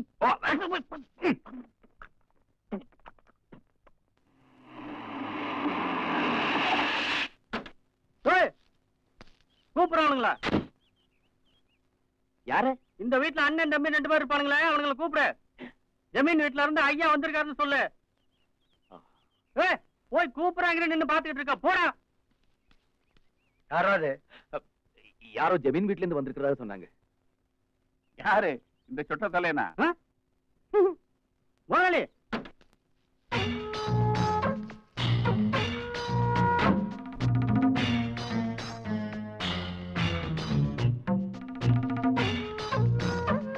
தம்பி யார் வந்திருக்கா பாத்தியா? நம்ம பழைய முதலாளி வந்திருக்காரு. வா வா வா வா. என்ன பாத்துட்டு நிக்கிற? தலையில இருக்க துண்டை எடுத்து இடுப்புல கட்டா ஐயோ கும்பிடுங்க முதலாளி. முதலாளி வெளியிலேயே நின்னுட்டு இருக்கீங்களே உள்ள வந்து உட்காருங்க. நாயோட கால் வைக்காத வாசல்ல. மனுஷன் நான் வைப்பனா? அப்ப இந்த வீட்டு வாசல் வரைக்கும் வந்த காரணத்தை தெரிஞ்சுக்கலாமா முதலாளி ஏய் நான் ஜமீன்தார் பரம்பரையில பிறந்தவன். அந்த ஸ்டேட்டஸ வச்சுட்டு ஊர்ல இருக்கிற நாய் கண்ணுல நான் விரல விட்டாட்டிட்டு இருக்கிறேன். எங்க கண்ணுல விரல விட்டாட்டுன்னு எவனோ சொன்னானாமே அந்த விரல் யாருன்னு விசாரிச்சு வான் பண்ணிட்டு போலான்னு வந்தேன். ஏய் அந்த எண்ணெய் எந்த பரவேஷ் நாய்க்காவது இருந்ததுன்னா பட்டை களை போடுவேன். படவா ராஸ்கல். அப்போ அடிச்சு நொறுக்கலாங்கிற முடிவோட தான் வந்திருக்கீங்க போல் இருக்கு. என்னண்ணே கூட ஒரு அள்ள கை வரும்போதே தெரியலையா. முதலாளி இது கிட்ட பேசி ஏன் டாட்டா வேஸ்ட் பண்ணிட்டு இருக்கீங்க வந்த மேட்டர் நத்தின்னு சொல்லிட்டு கிளம்புங்க. ஏய் அந்த ஜமீன் வீடு எங்களுடைய பரம்பரை சொத்து.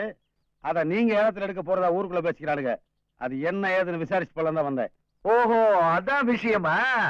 இவ்வளவு தூரம் வந்து நீங்களே நேர்ல கேட்டதுனால நானும் நேர்லயே விஷயத்த சொல்லிடுறேன்? அந்த வீட்டை ஏலத்துல எடுக்கத்தான் போறோம். என்ன விலை கொடுத்தாவது வாங்கத்தான் போறோம். இழைச்சிங்க ஏய் அந்த வீட்டு வாசப்படி மிதிக்கிற யோகிதா உங்களுக்கு இருக்கா? நேத்து வரைக்கும் பிச்சை எடுத்து இந்த நாய்க என்னது? இப்ப யாரு பிச்சை எடுத்துக்கிட்டு இருக்கான்னு ஊர்ல இருக்கவங்களை கேட்டு பாரு தெரியும். அவன் மான ரோஷம் பாக்குறீங்க அப்புறம் எதுக்காக அவன் பங்காளி சொத்து ஏலத்துக்கு வருது?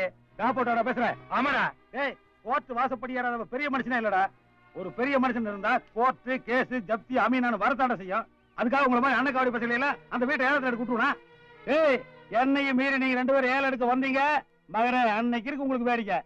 இத பாருடா. நீங்க ரெண்டு பேரும் ஒரு காலத்துல கிட்ட கை கட்டி சேவை பண்ண பசங்க தாண்டா பந்தயத்துல மாடு மேய்ச்சி பசங்க தானே? இன்னைக்கு பணம் காசு வந்தோட பந்தா கட்டுறீங்களா? செகண்ட் ஹேண்ட்ல ஒரு பென்ஸ் வாங்கி வீட்டுல நிறுத்திட்டா பெரிய மனுஷன் ஆவீங்களா டே டியூன் பிரதர்ஸ் நல்லா ஞாபகம் வச்சுக்கங்க. உங்க ரெண்டு பேர்த்தையும் ஒரு நாளைக்காவது நான் தெருவில் இறங்கி பிச்சை எடுக்க வைக்கிறனாலேன்னு பாருங்க. ஒண்ணு மட்டும் ஞாபகம் வச்சுக்கங்க. நீங்க ரெண்டு பேரும் என் வீட்டு வாசப்படியில் நின்றுட்டு ஐயா சாமி ஏதாவது ஒரு வேலை போட்டு கொடுங்க கெஞ்சல. என் பேர் மைய கவுன் இல்லடா டே வண்டி ஏறா ஏறனே இப்படி பிஸ்கட் எடுக்கிற. ஏய் நிறுத்துடா. ஏய் வரானு சீக்கிரம் எடு. ஏய் ட்ரெயின்ஸ் உங்களை பின்றடா நானு.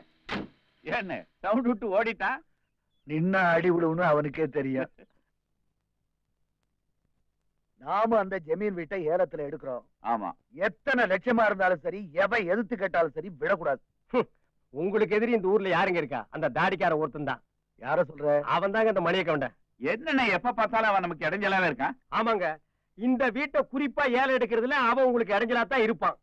ஏன்டா அப்படி சொல்ற? பின்ன என்னங்க? அவன் வீட்லயே ஆடு மாடு மேய்ச்சு முறவாசல் செஞ்சு நீங்க பண்ணையத்துக்கு இருந்திருக்கீங்க. இப்ப ஏதோ கொஞ்சம் காசு பணம் சேர்ந்து சீ, சேர்த்த உடனே அந்த வீட்டையே வாங்கலாம்னா விடுவானா அவன் ஏற்கனவே உங்க ரெண்டு பேரை பத்தி தெரு தெருவா மைக் செட் வச்சு பிரச்சாரம் பண்ணிட்டு இருக்கான். உங்க ரெண்டு பேர் கையிலயும் சட்டியை கொடுத்து வீடு வீடா பிச்சை எடுக்க வைக்காம விடமாட்டானா? ஏ, அவரை விடுற. அத நான் விட மாட்டேங்க நீங்க ரெண்டு பேரும் ஜோடியா பிறந்தீங்க இருக்காங்க. ஜோடியாவே உங்களை பிச்சை எடுக்க வைக்க முடியுமா? ஐயா ஒரு காலத்துல நீங்க ரெண்டு பேரும் பிச்சை எடுத்தது வாஸ்தவம் தான். எடுத்திருக்கிறீங்க. அதையே இப்போ மெயின்டைன் பண்ண சொன்னா எப்படிங்க முடியும்? அதை விடுறா. விட முடியாது. கோர்ட்டுக்கு. முடியாது. சரி விட்டுட்டேன். டேய் அந்த வீடு என்ன விலைக்கு போகும்? அது என்ன கஷ்டமான பத்து பதினாறு இருக்கும்? இருபத்தஞ்சு லட்சம் போகுங்க. இருபத்தஞ்சு லட்சமா? அது உனக்கு எப்படி தெரியும்? ஏய், தக்காளிட்டியா? ரெண்டாம் கிளாஸ் கூட படிக்கிறேன்னு சொல்லி உன்னை வேலைக்கு சேர்த்திருக்கேன். குவாலிபிகேஷனை மெயின்டைன் பண்றீங்களா? டுவெண்ட்டி ஃபைவ் லேக்ஸ் போகும். அப்படின்னா இருபத்தஞ்சு லட்சம். நீ அதே தான் சொல்றிய. டேய் மாமா அப்ப இருபது லட்சத்தி ஒண்ணுன்னு எழுது. சரி மாமா.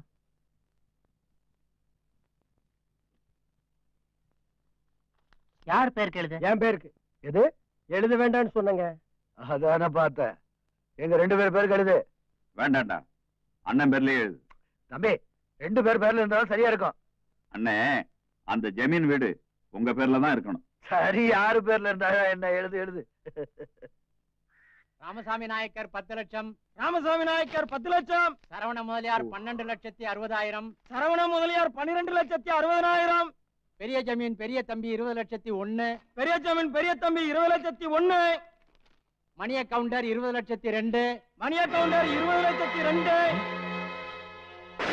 டேய் பிச்சைக்கார பசங்களா என்ன ஏத்தாடா ஏலம் எடுக்க வந்தீங்க? இப்ப பாத்தீங்களா மேட்ரு எப்படி மாறி போச்சுன்னு? கோட்டை ஏ டைம் வேஸ்ட் பண்ற மணி எடுத்தறியா இருங்க சார் இன்னொரு கவர் இருக்கு. இன்னொரு கவர் இருக்கு. அடே. ஜமீன் சின்ன தம்பி இருபத்தஞ்சு லட்சம். ஜமீன் சின்ன தம்பி இருபத்தஞ்சு லட்சம்.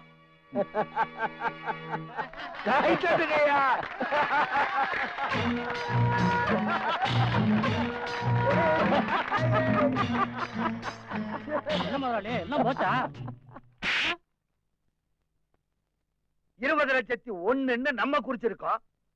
பணிய கவுண்ட இருபது லட்சத்தி ரெண்டுன்னு குறிச்சிருக்கிறான்னா என்ன அர்த்தம்?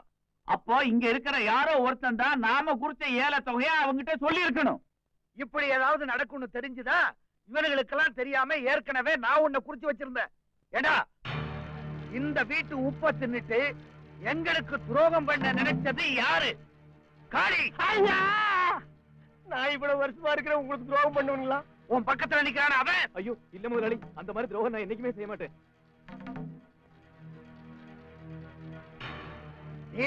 சொல்ல மாட்டேன். சொல்ல மாட்டியா? இல்ல மாமா. இந்த வீட்டுல நடக்கிற எந்த சமாச்சாரத்தையும் நான் வெளியே சொல்ல மாட்டேன்னு சொல்ல வந்தேன் மாமா.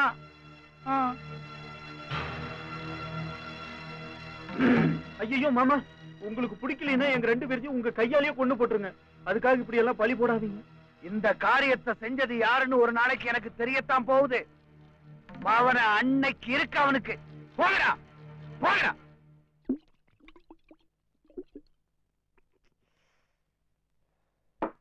மாடு குளிதாரிந்த தண்ணி குடிச்ச மாதிரி எப்ப பார்த்தாலும் குடிச்சுக்கிட்டே இருங்க. டேய் காஸ்ட்லி சாராய ரெண்டாயிரம் ரூபாய் கொடுத்து வாங்கி வச்சிருக்க அதை கழனி தண்ணியோட கம்பேர் பண்றியா? இல்லீங்க பாட்டிலே க்ளோஸ் பண்ணிட்டு இருந்தீங்கன்னா அவங்கள எப்ப க்ளோஸ் பண்றது? ஒரு பத்து முப்பது அடியாளுகளை அனுப்பி. அனுப்பி செருப்பால் அடிச்சாளுங்கன்னா துண்டை காணா துணியை காணா ஓடி வர்றதா? டேய் நம்ம பாடி கண்டிஷன் ஊருக்கே தெரியும்டா. நம்ம கெப்பாசிட்டி என்னவோ அதுக்கு தகுந்தபடி தான் ஃபைட் பண்ணணும். பாடி ஃபைட் எல்லாம் நம்மளுக்கு ஒத்து வராதுடா. மென்டல் ஃபைட் தான் நம்மளுக்கு சரியா வரும். அது நம்ம கிட்ட இருக்காங்க. சரி அது யாரு கிட்ட இருக்குதோ அவங்க போய் வேலை செய்ய. இல்ல பரவாயில்ல நீ கிளம்பு. இல்ல, நீ கிளம்புடா. டேய் என்னதான் ஒரு ஜமீன்தார் நொந்து நூலாய் போயிட்டான்னு வையே. அவன் வீட்டையே ஏலத்துக்கு கொண்டு வந்தாலும் அந்த வீட்டை ஏலத்துக்கு எடுக்கிறவனு ஒரு ஜமீன்தாரா இருக்கணும். அதான் ஜமீனுக்கு மரியாதை. நேத்து வரைக்கும் பிச்சை எடுத்தவனுங்க. இதே இடத்துல இதே இடத்துல உன்ன மாதிரி உட்கார்ந்து நான் தண்ணி போடும்போது ஊருக்கு எடுத்து கொடுத்த நாய்டா. இன்னைக்கு பணக்கார சேர்ந்த உடனே ஜமீன்தார் ஆயிட முடியுமா?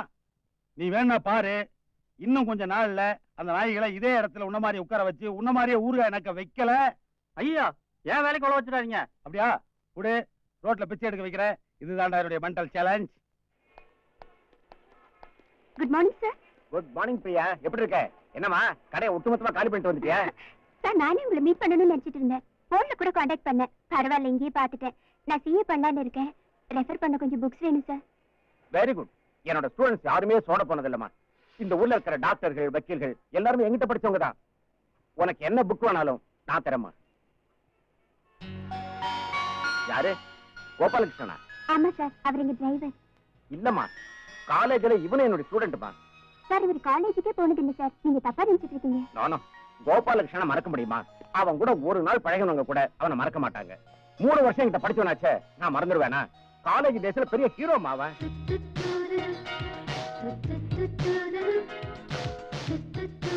என்னடா வேஷம் இது? உன்னை ஒரு பேங்க் மேனேஜராவோ பெரிய பிசினஸ் எக்ஸிகியூட்டிவா வருவேன்னு பார்த்தா இப்படி நிக்கிற? படிப்பு மட்டும் போதாது சார் தலையெழுத்து கூட நல்லா இருக்கணும்ல. டேக் இட் ஈஸி எல்லாம் சரியாயிடும். தேங்க்யூ சார் அம்மா பிரியா இவன் யார் தெரியுமா? பெரிய ஜமீன் சேனாதிபதி கவுண்டருடைய பேரன். அவன் நிலைமையை பாத்தியா? பிரியா அப்பா கிட்ட சொல்லி. உங்க கம்பெனில அவனுக்கு நல்ல வேலை வாங்கிட்டாமா பாத்துமாண்ணா. திருட்டு நாயே. ஏண்டா? ஊரையும் பேரையும் மாத்தி சொல்லி எங்க கூடவே இருந்து கழுத்தறுக்கலாம் நினைச்சியா? மணிய கவுண்டங்கிட்ட எங்களை காட்டி கொடுத்தது நீதானடா நாயே? சத்தியமா சொல்றேன். எனக்கு எதுவுமே தெரியாது. நான் யாரையும் ஏமாத்தல. நாங்க குடிச்ச ஏறத்தோட மணிய கவுண்டனுக்கு எப்படா தெரியும்? இனி நடிக்காதீங்க அந்த டெண்டர் விஷயத்தை பத்தி எனக்கு எதுவுமே தெரியாது. நான் சொல்லல. வாய முடுறா நாயே.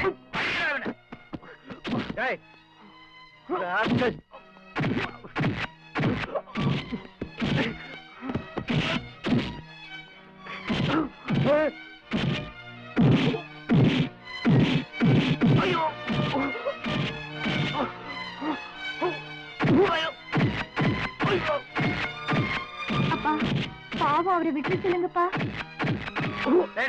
எடுத்துங்க டேய், தொலைய போறா தூக்கி வெளியே போடுங்க அவனை. திருட்டு நாயன்.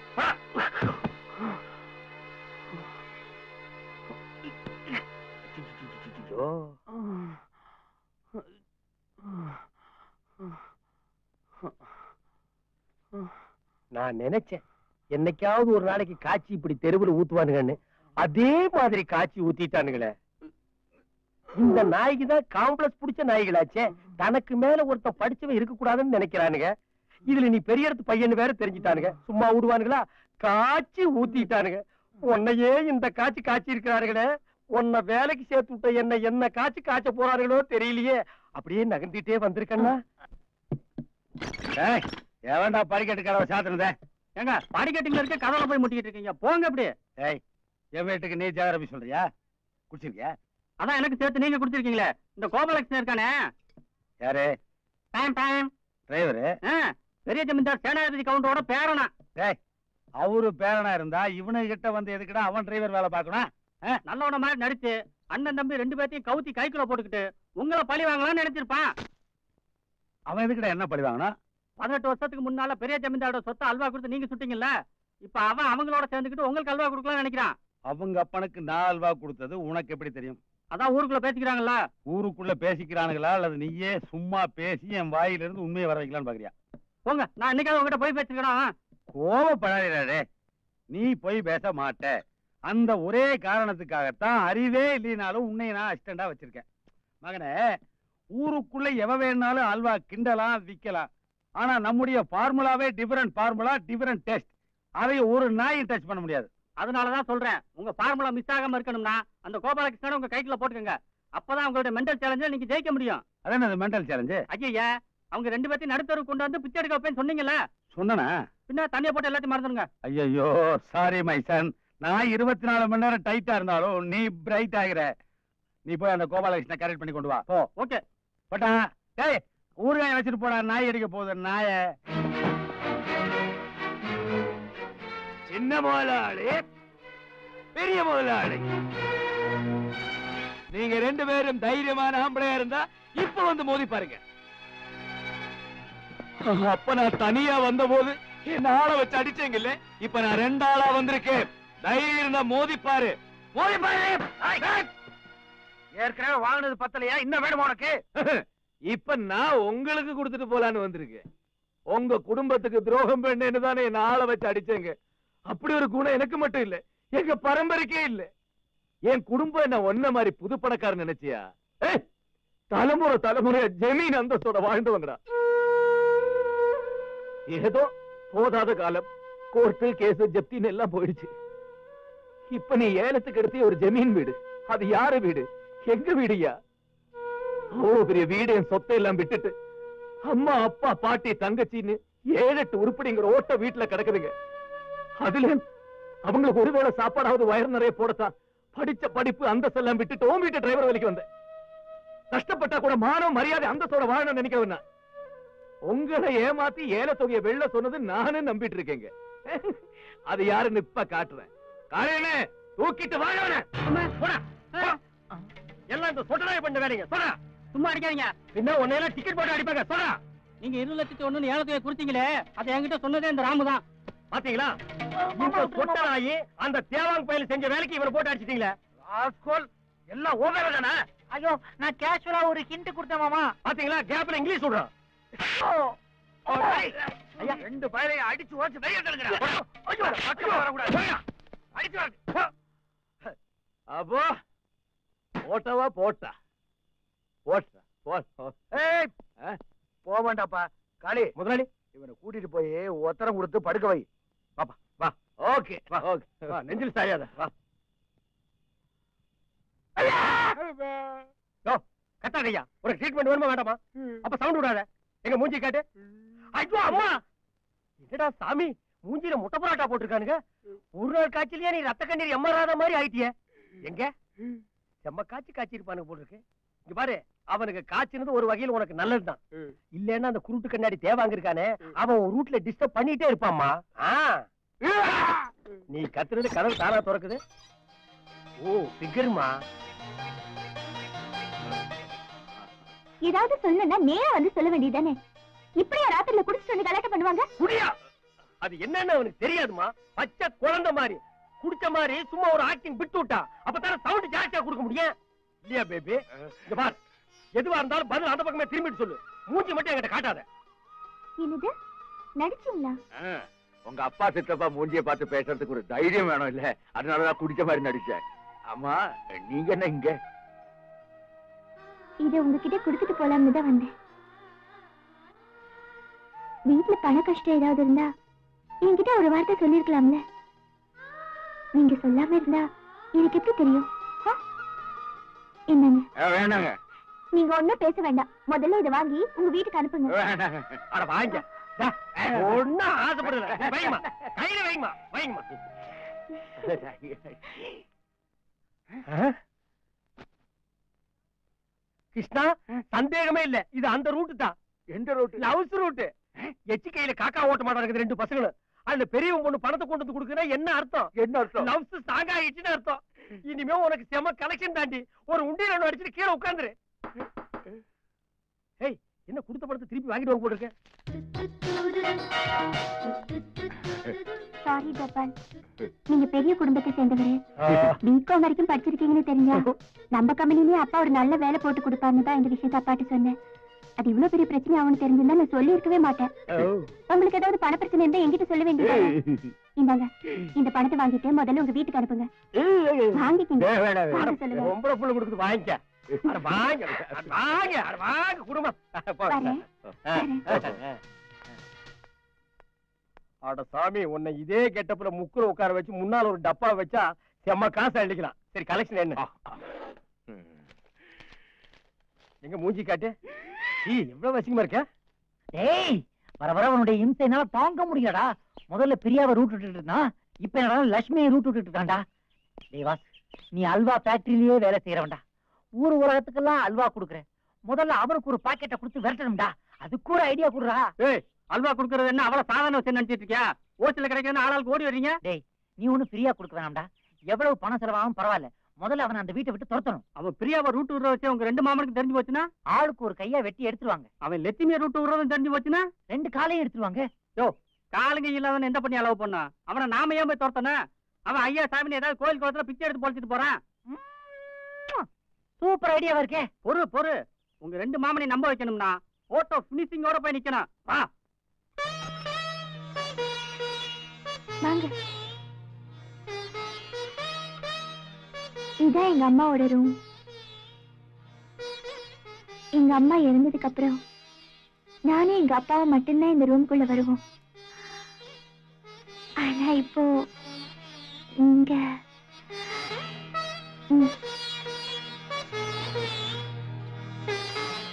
இவங்கதான் என்னோட அம்மா. நான் கல்யாணம் பண்ணிக்க போறவரை. இவங்களும் பார்க்கணும்னு தான் நான் உங்களை இங்கே கூட்டிட்டு வந்தேன். அது வந்து என்ன ஒண்ணும் தெரியாத மாதிரி நடிக்கிறீங்க? நான் உங்ககிட்ட சொல்லணும்னு நினைச்சதெல்லாம் இந்த லெட்டர்ல எழுதியிருக்கேன்.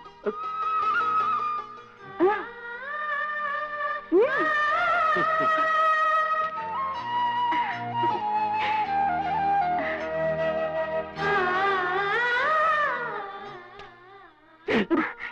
போறீங்க?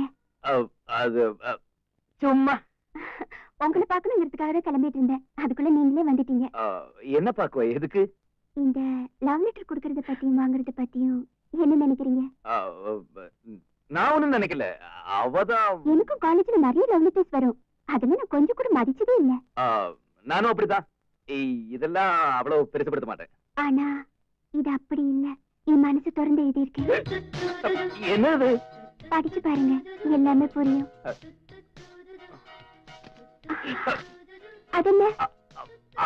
அது இது மாதிரி தான் என் மனசை திறந்து எழுதியிருக்கேன் அப்படின்னா? பதில் கடிதம். நீங்க இன்னொரு பிரிச்சு படிக்கவே இல்லையே? பிரிச்சு படிக்கல. ஆனா கூட சேஃப்டிக்கு முன்னாடியே எழுதி வச்சுட்டேன். அப்படின்னா அதை என்கிட்ட கொடுங்க. இல்ல. நீ உன் மனசை திறந்து என்ன எழுதியிருக்க? அந்த அளவுக்கு என் மனசை திறந்து நான் எழுதியிருக்கேனா? அதை பார்த்துட்டு அப்புறமா கொடுக்குறேன். கொடுங்க. போங்க. போ குட்டிமா.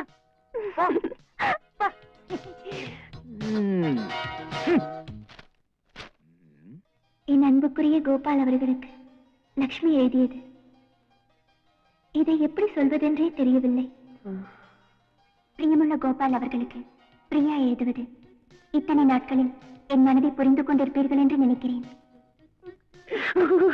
பிரியமுள்ள கோபால் அவர்களுக்கு அடடா சூப்பர் என் அன்புக்குரிய கோபால் அவர்களுக்கு அடடா இது சூப்பரோ சூப்பர் ஆமா இதுல உனக்கு என்ன டவுட் என்ன டவுட்டா நான் என்ன எக்ஸாம் பேப்பரா கையில கொடுத்த மார்க் போட்டு கொடுக்கறதுக்கு? ரெண்டு பேரும் எனக்கு லவ் லெட்டர் கொடுத்துருக்காங்க. அவங்க ஆளுக்கு ஒண்ணு கொடுத்தா நீ ஆளுக்கு ஒண்ணு கொடு? ரெண்டு பேரும் லவ் பண்றதுக்கு என்னால முடியாது. அப்ப அடி வாங்கி சாவு. என்ன என்ன பண்ண சொல்றீங்க? இங்க பாரு பொம்பளைங்க லவ் சுட்டா பதிலுக்கு நம்மளும் லவ் சுடணும் அவளுக்கு லெட்டர் கொடுத்தாளுங்கன்னா நம்மளும் லெட்டர் கொடுக்கணும். அவளுக்கு சிரிச்சாளுங்கன்னா நம்மளும் சிரிச்சு வைக்கணும். இல்லன்னா அப்படியே பிளேட்டை திருப்பி போட்டுருவாளுங்க. சும்மா இருந்த என்ன கைய பிடிச்சி இழுத்தான் கண்ணடிச்சான் அங்க தொட்டான் இங்க தொட்டான்னு. அப்ப பொண்ணுக்கு சொந்தக்காரன் மட்டும் அடிக்க மாட்டான்.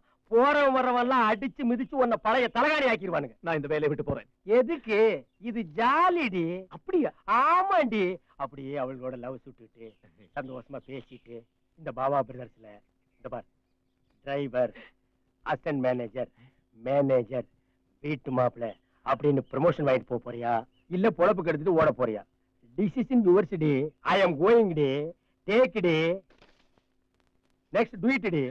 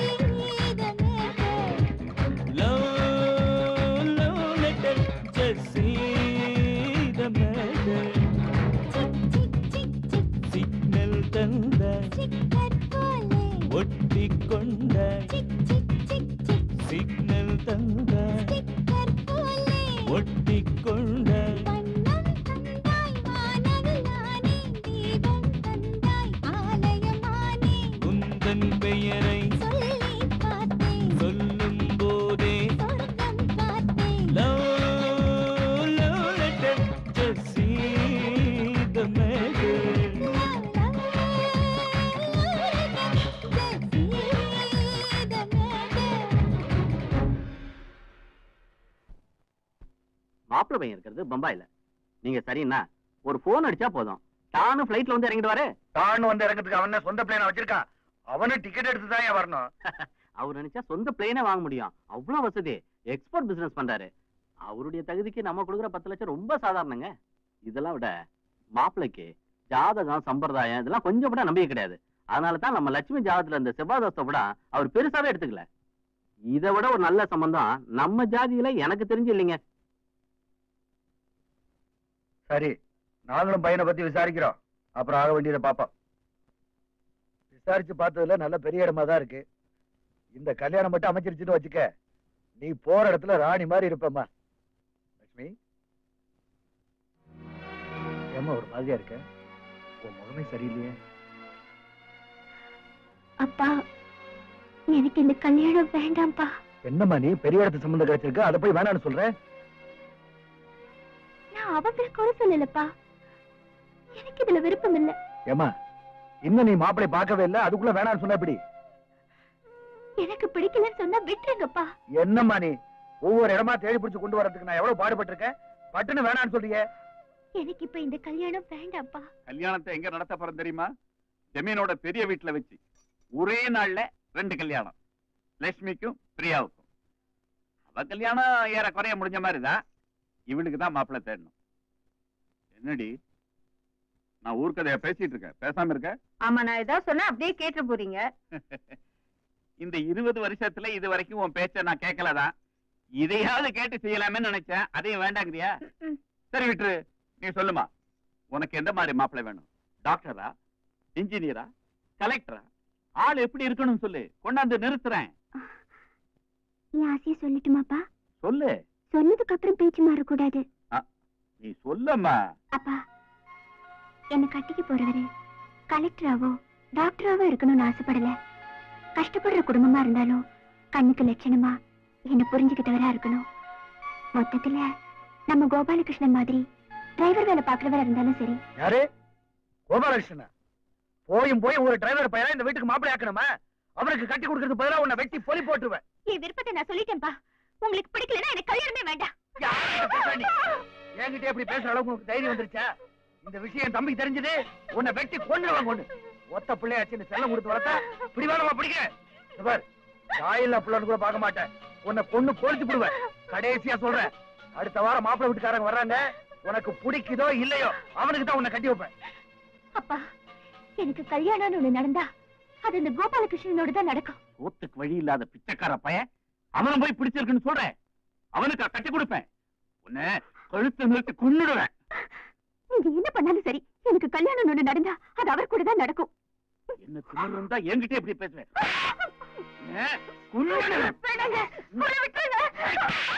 நீ கொடுக்குற செல்லம் தாண்டி. புள்ள வளர்க்கறாராம் புள்ள. பொம்பளை புள்ளைய பொறுப்பா வளர்க்கணும். இந்த விஷயம் அண்ணனுக்கு தெரிஞ்சா எல்லாரையும் வெட்டி கொன்னுடுவாங்க. என்னாச்சு உனக்கு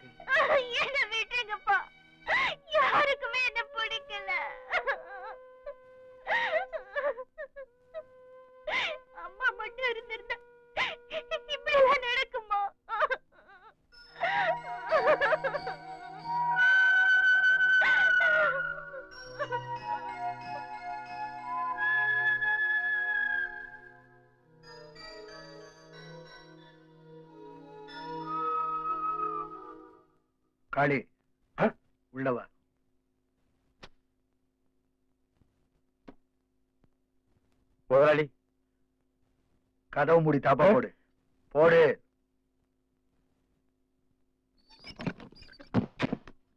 தாப்பா போடுற. கதவை திறடி. கதவை திற. கதவை திறடி. முடியாது.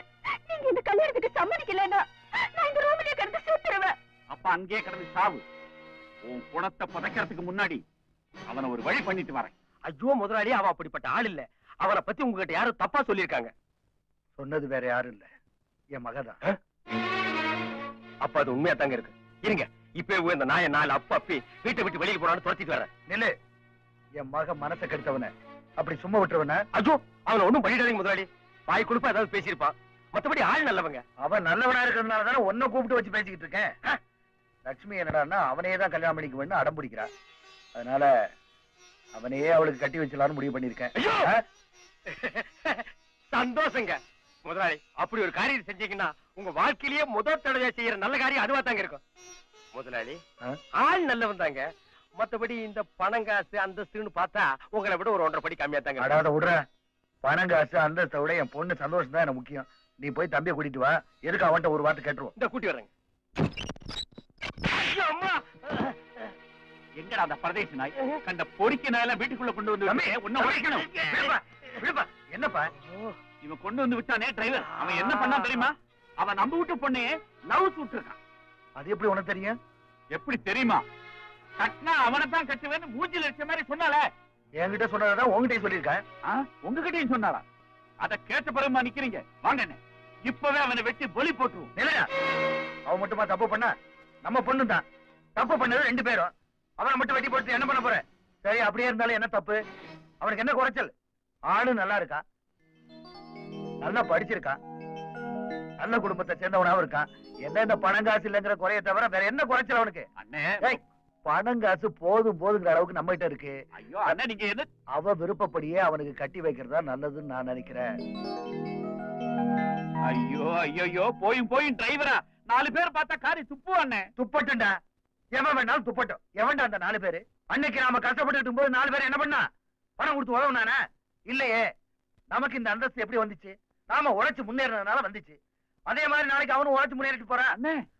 அவனே எனக்கு பிடிச்சிருக்கு. இந்த கல்யாணம் நடக்கணும். முடிவே பண்ணிட்டீங்களா? ஆமா. உன் முடிவு என்ன? நீங்க முடிவு எடுத்ததுக்கு அப்புறம் என்னைக்காவது நான் மறுத்து பேசியிருக்கேனா? அதுக்கே இப்படி மூஞ்சி வச்சுட்டு சொல்ற கொஞ்சம் சிரிச்சிட்டு சொல்றது. எனக்கு சம்மதம்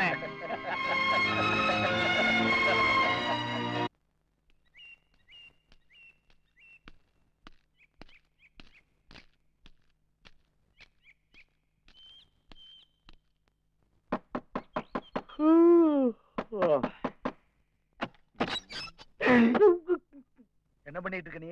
ஒண்ணு இல்ல நான் அது இல்ல நான் தூக்கம். எது? ராத்திரி களத்த மட்டும் காவலுக்கு போடுறதுனால அசந்து தூங்கிட்டேன். ராத்திரில களத்து மேட்ல காவலு பகல்ல டிரைவர் வேலை. நேரம் கிடைக்கும் போது உனக்கு லவ்ஸ் வேறையா? ஐயோ அப்படின்னா என்னன்னு கூட எனக்கு தெரியாது முதலாளி. அதே என் பொண்ணு சொன்னா. அது சும்மா லட்சுமி ஒரு தமாசுக்கு என்னது தமாஷா? காதல் அது இதுன்னு ஆசை வார்த்தை காட்டிட்டு மோசம் பண்ண பாக்குறியா? உங்க வீட்டுல பையன் வந்திருக்காங்களே அவங்கள வர சொல்லு. முடியாது. ஏன்? அவங்களுக்கு நடக்க முடியாது. உடம்பு சரியில்லை. எல்லாரும் படுத்த படுக்குதா அப்படின்னா சட்டையை போட்டு வண்டி எடு ஏய், பேச வேண்டியது அவங்க கிட்ட பேசுறமா சீக்கிரம். சிட்டு ஓ.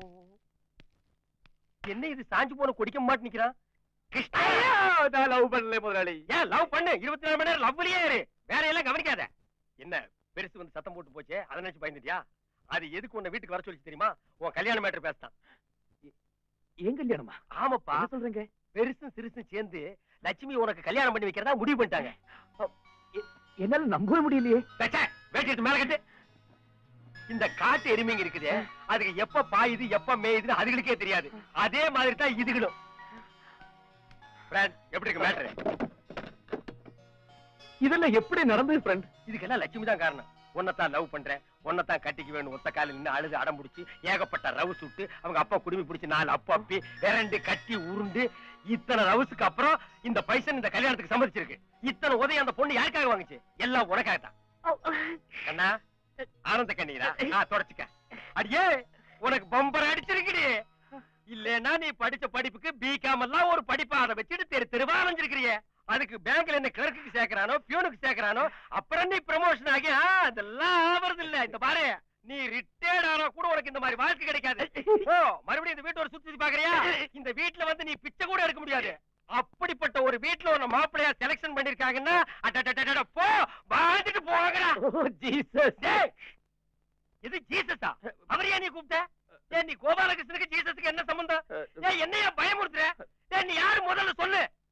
கல்யாணத்தை எங்க வச்சுக்கலாம்? சர்ச்சிலியா மசூதிலியா பெருமாள் கோயிலியா அட எங்க அப்பா குழப்பாங்க ட்ரெஸ் போட்டு வா. அண்ணே கோபாலகிருஷ்ணன் கூப்பிட்டு விஷயத்தை பேசிட்டுமா? இப்பதான் அவனை பார்த்து பேசிட்டு வர்றேன் பேசிட்டீங்களா.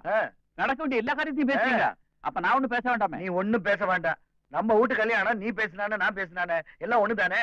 இதுதான் உங்ககிட்ட பிடிக்க சொல்ல. என்ன எதுவுமே செய்ய விடாம எல்லாத்தையும் இழுத்து போட்டு நீங்களே செய்வீங்க. தம்பி எப்பவுமே நல்ல சமாச்சாரத்தை தள்ளி போடக்கூடாது. இப்பவே நேரா அவங்க வீட்டுக்கு போய் பெரியவங்களை பார்த்து பேசி முடிச்சிட்டு வந்துருவோம் கிளம்பு. சரி. ஐயோ மறந்தே போயிட்டேன். என்ன தம்பி? ஃபேக்டரி விஷயத்துக்காக நம்ம பெரிய ஆபீசர் வரேன்னு இருக்காரு. அவர் வர்றப்ப நம்ம ரெண்டு பேரும் எல்லாம் போனா தப்பா போயிடும். அதனால கல்யாணத்தை நீங்க பேசி முடிச்சிருங்க. ஆபீசரை நான் பாத்துக்கிறேன். சரி சரி.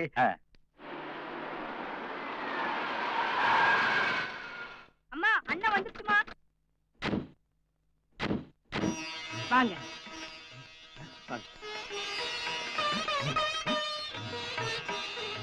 வாங்க உட்காரு. அம்மா பாட்டி பெரிய பாட்டி. இது தங்கச்சி. சரி விடு ஒண்ணு மிஸ் ஆன எல்லாத்தையும் ஞாபகப்படுத்திட்டே இருக்கிறிய. அம்மா குரூப் ஓகே அப்பா குரூப் எங்க? தம்பி ஊருக்கு போய் ஆறு மாசம் ஆச்சு. இவனை பார்க்க தான் அப்பாவும் தாத்தாவும் அங்க போயிருக்காங்க. ஐயா சாமி. வணக்கம். வணக்கம். நீங்க எல்லாம் யாருப்பா? உங்க வீட்டுல வேலை செய்யறேன்னு கோபாலகிருஷ்ணன்.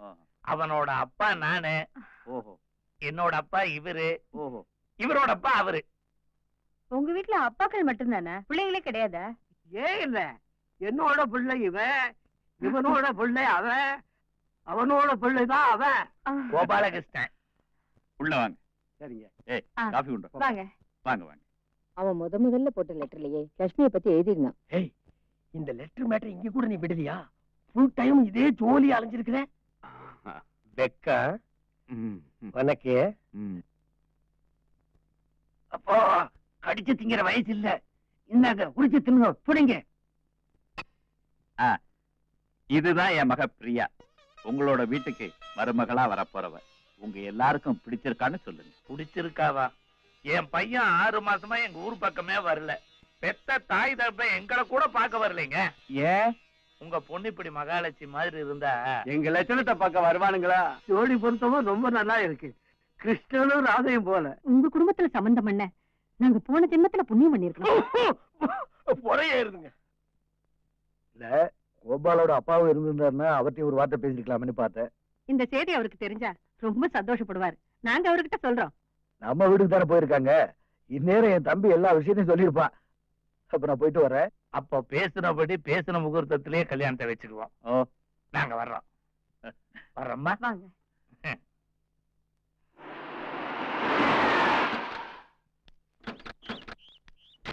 அதோ அண்ணனே வந்துட்டாரே. வாங்க வாங்க வாங்க வாங்க. வணக்கம் வணக்கம் நாங்க உங்களை தேடிட்டு உங்க வீட்டுக்கு அங்க போனா நீங்க இங்க வந்துட்டீங்களா? தம்பி எல்லா விஷயத்தையும் சொன்னானா? எல்லா விஷயத்தையும் பேசி முடிச்சிட்டோம். அதுல எங்களுக்கு ரொம்ப சந்தோஷம். வீட்டுல கூட பொம்பளைங்களுக்கு ரொம்ப பிடிச்சு போச்சு. பணக்கார விட்டு சம்பந்தம்னா பிடிக்கலைன்னு சொல்லுவாங்களா? அட என்னங்க படம் இன்னைக்கு வரும் நாளைக்கு போவோம். அது போயிருங்க. ஆனா அந்த வம்சாவளி பாரம்பரியம்னு ஒண்ணு இருக்கு பாருங்க. அதுதானே முக்கியம். அந்த வகையில பார்த்தா உங்க குடும்பத்துல சம்பந்தம் பண்ண எங்களுக்கு ரொம்ப சந்தோஷம். அதுவும் ஒரு வகையில சரிதான். என்ன மகனே? கரெக்ட் அப்ப கோபாலகிருஷ்ணன் நான் கூட்டிட்டு போலாங்களா? எதுக்கு. நாங்க ரெண்டு பேரும் இங்க இருந்து செட்டப் அரேஞ்ச்மெண்ட் எல்லாம் பண்ணுவோம்ல. ஆ. நீங்க புறப்படுங்க. அப்ப நாங்க புறப்படுறோம். அடடே இருங்க இருங்க. வண்டியில போய் இறங்கிங்க. எதுக்கு வண்டி? அவங்க காலன் நொண்டியா? நடந்தே போட்டு நீங்க புறப்படுங்க. கோபாலகிருஷ்ணன் ஓ கோபாலா. கிருஷ்ணா. எப்பா ஒரு பேர்ல இத்தனை சேஞ்சாடா சாமி? காளி வந்துட்டேங்க.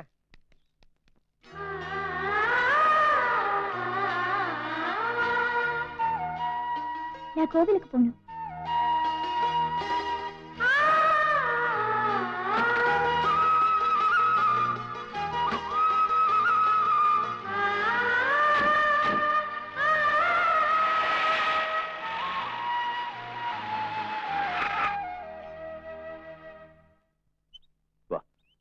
அது முன்னாடி உட்காரு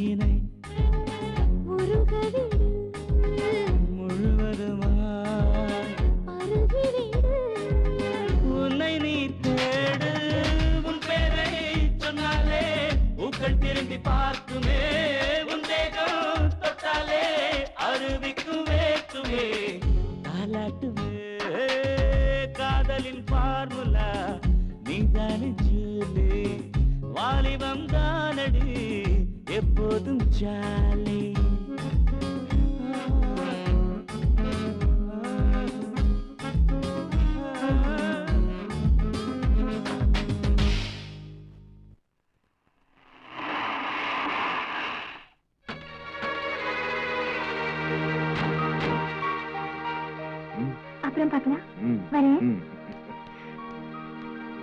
அக்கா கோயிலுக்கு போறதா இருந்தா காலையில கூட்டிட்டு போறதானே எதுக்கு அவரை கூட்டிட்டு போற?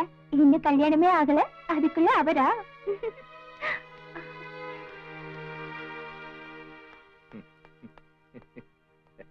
வண்டி எடுங்க போலாம்.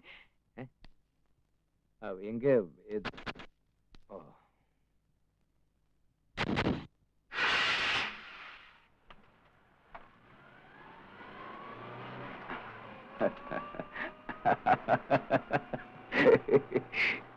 என்னது?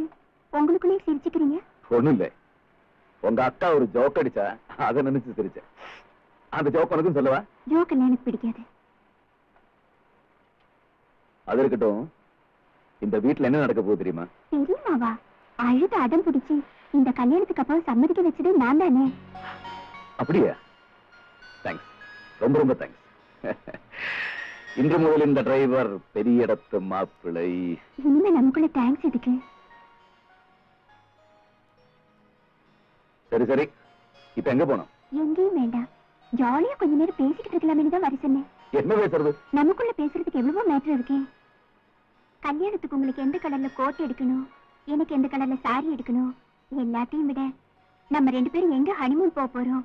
இப்படி எவ்வளவு விஷயம் இருக்கே. ஹனிமூனா நாம எதுக்கு ஹனிமூன் போறோம் நம்ம ரெண்டு பேருக்கும் கல்யாணம் நடந்தா நாம தானே ஹனிமூன் போகணும் ஏழு கொண்டுல வாடா வெங்கட்ரமணா கோபாலகிருஷ்ணா கோவிந்தா கோவிந்தா கோவிந்தா. என்ன கோவிந்தா போட்டுட்டு வரீங்க செத்ததுக்கு பின்னால போடுற கோவிந்தா எனக்கு மேட்ரு முன்னாலேயே தெரிஞ்சு போச்சு அதனால போடுறேன் கோவிந்தா. கோவிந்தா பெரியவன் அவன் பொண்ணுக்கு தான் கல்யாணம்னு நினைச்சிட்டு இருக்கான். சின்னவன் இவன் பொண்ணுக்கு தான் கல்யாணம்னு நினைச்சிட்டு இருக்கான். ஆனா நடக்க போறது இப்ப ரெண்டு கல்யாணம். ரெண்டு பொண்ணுங்களை சேர்த்து கல்யாணம் பண்ணிக்கிறதுனால முடியாது. ஓ வாடி உனக்கு அந்த நினைப்பே இருக்கா? இங்க பாரு கோவிந்தா நீ ரெண்டு பொண்ணுகளையும் ரூட் விட்ட மேட்ரு அவர்களுக்கு தெரிஞ்சது மவனை உன்னை அடிச்சு கஞ்சி காய்ச்சி தேர்நாய் கூத்திடுவானுங்க. அது இதுன்னு சொல்லி என்ன பயமுறுத்தாதீங்க. எப்படியாவது எஸ்கேப் ஆகிறதுக்கு வழி இருந்தா சொல்லுங்க. என்ன இப்ப நீ சென்ட்ரல் ஜெயில் இருக்கிற உன்னை கிரேட் எஸ்கேப் பண்ணி உண்டு இந்த பாரு இப்படிக்கே வந்தீங்கன்னா வீட்டுக்கு பின்னால வழி. சிக்னல் பண்ணு. அந்த ஃபாரின்ல இருந்து கொண்டு வந்தியே ஒரு பாக்ஸ் அந்த டப்பாவை தூக்கி எறிய கவிட்டு ஓடி போயிரு. அவங்க அங்க வந்து உதைக்க மாட்டாங்கன்னு என்ன நிச்சயம்? அதுக்கு நான் கேரண்டி இல்ல கோவிந்தா. உன் ஜாதகத்துல அப்படி அடி வாங்கணும்னு இருந்தா அதை வாங்கிக்க கோவிந்தா. நான் போக மாட்டேன். நான் இதுக்கு போனோம் ஒழுங்கா டிரைவர் வேலை பார்த்துட்டு இருந்த என்ன அவளை லவ் பண்ணு இவளை லவ் பண்ணு சொல்லி குழப்பி விட்டுட்டு நீதானே இனிமே நாங்க இந்த போன லட்சுமியோட தான் போவேன். அடி வாங்காம போக மாட்டேன்னு அடம் பிடிக்கிறிய கோவிந்தா. சும்மா இருக்க ஃப்ரெண்ட் இது வரைக்கும் நான் யாரையுமே லவ் பண்ணல. சும்மா நடிச்சுக்கிட்டு தான் இருந்தேன். ஆனா கல்யாண பேச்சு எடுத்து விட்ட பிறகுதான் நான் லட்சுமியை விரும்ப ஆரம்பிச்சேன். இப்ப மனசு பூரா அவதான். எனக்கு அவ இல்லாம ஒரு வாழ்க்கையே இல்லை. நான் பிரியாவை லவ் பண்ணலைங்கிற விஷயத்தை அவ முன்னாடி போய் சொல்லத்தான் போறேன். அப்ப லவ் லெட்டர் எதுக்கு கொடுத்தேன்னு கேட்பாங்க கோவிந்தா? நீ தான் கொடுக்க சொன்னேன்னு சொல்லுவேன் என்னது? நீ தானே ரெண்டு பேருக்கும் கார்பன் காப்பி வச்சு மாறி மாறி லவ் லெட்டர் கொடுக்க சொன்னேன். ஐயோ முட்டிச்சு போய் பேசுவாங்க கோவிந்தா. யார் என்னோடது என்னோடது? எனக்கு என்னைய கோவிந்தா போட வச்சிய கோவிந்தா. கோவிந்தா இங்க பாரு உனக்கு லவ் லெட்டர் கொடுத்து லவ் பண்ண சொன்னது பாபா பிரதர்ஸ்ல சேர்ந்து ப்ரமோஷன் வாங்கி பெரிய பெரிய போஸ்டுக்கெல்லாம் வரவேன்னு பார்த்தோம் கோவிந்தா. இப்ப எனக்கு என்னைய செல்ஃப் கோவிந்தா போட வச்சிய கோவிந்தா. கோவிந்தா கோவிந்தா நீ வாய திறக்காம இரு கோவிந்தா. கோவிந்தா மத்ததெல்லாம் நான் பாத்துக்கிறேன் கோவிந்தா. கேட்டியா உங்க கோவிந்தா மேட்ர? இதை இப்படியே போய் மாமா கிட்ட சொல்லிட வேண்டியதான் இது அறகுறையா சொன்னோம் உங்க மாமனுங்க நமக்கு கோவிந்தா போட்டுருவானுங்க. அப்படின்னா என்ன பண்றது? ஆல் இந்தியா ரேடியோ செய்திகள் வாசிப்பது கோபாலகிருஷ்ணன். அப்படின்னு அவன் வாயாலே சொல்ல வைப்பான் ஐயோ! அடிக்காதீங்க! ஐயோ! ஐயோ! என்னையா? படுத்தா நிம்மதியா தூங்கிட்டு இருந்தேன். நீ வேற கோவிந்தா மேட்டர் அது இதுன்னு பயமுறுத்தி விட்ட. இப்ப கண்ணை மூடின காதுல அந்த சத்தம் மட்டும் தான் வருது கோவிந்தா கோவிந்தா. என்னமா பண்றது? நம்மளும் கொஞ்சம் விளையாட்டா விளையாண்டுருக்கோம். பிச்சைக்காரன் நாயே. ஏண்டா நீ கெட்ட கேட்டுக்கு உனக்கு ரெண்டு பொண்ணு கேக்குதா? என்னடா திரு திருன்னு முழிக்கிற? நீ தைரியமான ஆம்பளையா இருந்தா நான் கேக்குற கேள்விக்கெல்லாம் பதில் சொல்றா. ஏய் எங்கிட்ட ஜாஸ்தி வச்சுக்காதே அப்புறம் என்னடா பண்ணுவ? முதல்ல நான் கேக்குற கேள்விக்கெல்லாம் பதில் சொல்றா. அதையும் சத்தமா சொல்றா வேலைக்காரன் நாயே. எனக்கு என்ன பயமா? நான் எப்போ சொல்ல யார்கிட்ட சொல்ல எங்கேயும் சொல்லுவேன்டா ஏய், இந்த நாய் யாரு? இதுக்கே நீ பதில் சொல்ற. அண்ணே நீங்க இதுல அனாவசியமா தலையிடாதீங்க. இது அவனுக்கும் எனக்கும் இடையில உள்ள பிரச்சனை. டேய் நீ பிரியா லட்சுமி ரெண்டு பேரையும் மாத்தி மாத்தி லவ் பண்றது உண்மையா இல்லையா? உண்மைதான்டா. லட்சுமியும் பிரியாவும் மட்டும் இல்ல. இந்த ஊர்ல எத்தனை பொண்ணுங்க கிடைக்குதோ அவங்களை எல்லாம் நம்ம அத்தி மாத்தி மாத்தி காதலிப்பேன்டா. புளிரானுங்கடா புளிரானுங்கடா காதலிப்படா? காதலிப்ப. ஆனா ரெண்டு பேர்ல யார கல்யாணம் பண்ணிக்க போற? லட்சுமியவா பிரியாவியா? தைரியமானவனா இருந்தா அத சத்தமா சொல்றா. சத்தமா சொல்றேன்டா. லட்சுமி பிரியா ரெண்டு பேர் கழுத்துல நான் தாலியை கட்டுவேன். அது ஏன் இஷ்டம்? அத கேட்கறதுக்கு நீ யாருடா நாயே? என்ன பார்த்தா யாருன்னு கேக்குறேன் உன்ன மாதிரி உண்ட வீட்டுக்கு துரோகம் பண்றவன் நான் இல்லடா. என்னோட ரெண்டு மாமன்களையும் நான் தெய்வமா மதிக்கிறேன். என்னுடைய பூஜை அறையில சாமி படங்களுக்கு பதிலா அவங்க ரெண்டு பேருடைய போட்டோவை தான் மாட்டி வச்சு கர்மாந்திரம் ஆனா ஒண்ணு மட்டும் சொல்றேன். என்னோட ரெண்டு மாமன்களுக்கு யாராவது துரோகம் பண்ண நினைச்சீங்க? அது என் உயிர் உள்ள வரைக்கும் நடக்காது. கிருஷ்ணா அவன் ரொம்ப பேசுறான்ப்பா. வெளில போல நாயே. ஸ்டாப் இப்போதைக்கு இது போதும். தேவைப்பட்டா அப்புறமா வந்து நான் ரெக்கார்ட் பண்ணிக்கிறேன். நம்ம பேசுறதெல்லாம் ரெக்கார்ட் பண்ணிட்டாங்க அந்த லூச புடிப்பா டேய்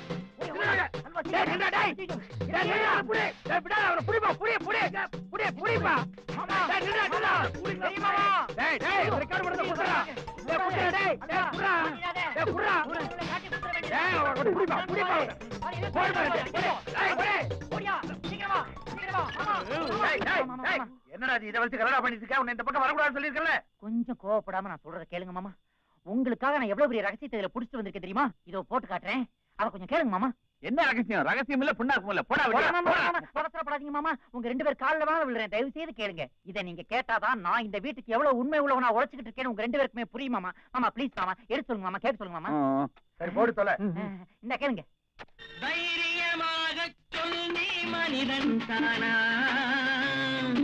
மனிதன் தானா இல்லை நீதான் ஒரு மிருகம். ஒரு நிமிஷம் மாமா. தயவு செய்து மாமா அவசரப்படாதீங்க மாமா. ஏதோ சின்ன மிஸ்டேக் ஆயிருக்கு. இப்ப சரியா போச்சு. இப்ப கேளுங்க. எங்கிட்ட மோதாதே ராஜாதி ராஜனடா. பம்புக்கு இழுக்காதே.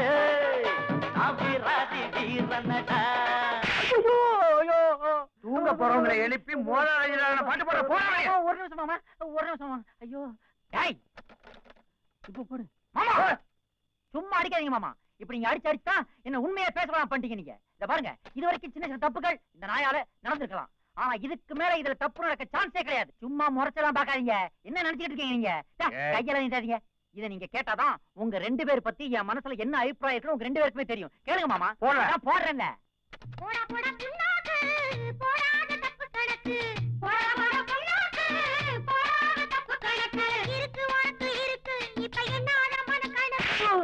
சின்ன மாமா. பெ- பெ- பெரிய மாமா. மாமா. அம்மா. போடா. ஐயோ ராத்திரி நேரத்துல ரகசியம் பருத்தி கொட்ட புண்ணாக்கணும் போடா. நில்றா. ஏண்டா? ஓட்ட டேப் ரெக்கார்டரை கொடுத்து கடைசியில எனக்கே அல்வா கொடுத்தியடா. வாங்குவியா நான் போ. ச்சே.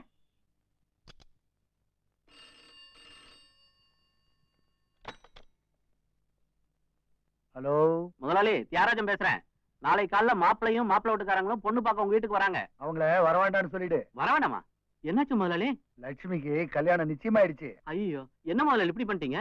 அவங்க இதுக்காகவே பப்பாயில இருந்து கிளம்பி வந்துட்டு இருக்காங்களே நீ விஷயத்த பொறுமையா எடுத்து சொல்லி அவங்களுக்கு புரிய வச்சிரு. சரியா?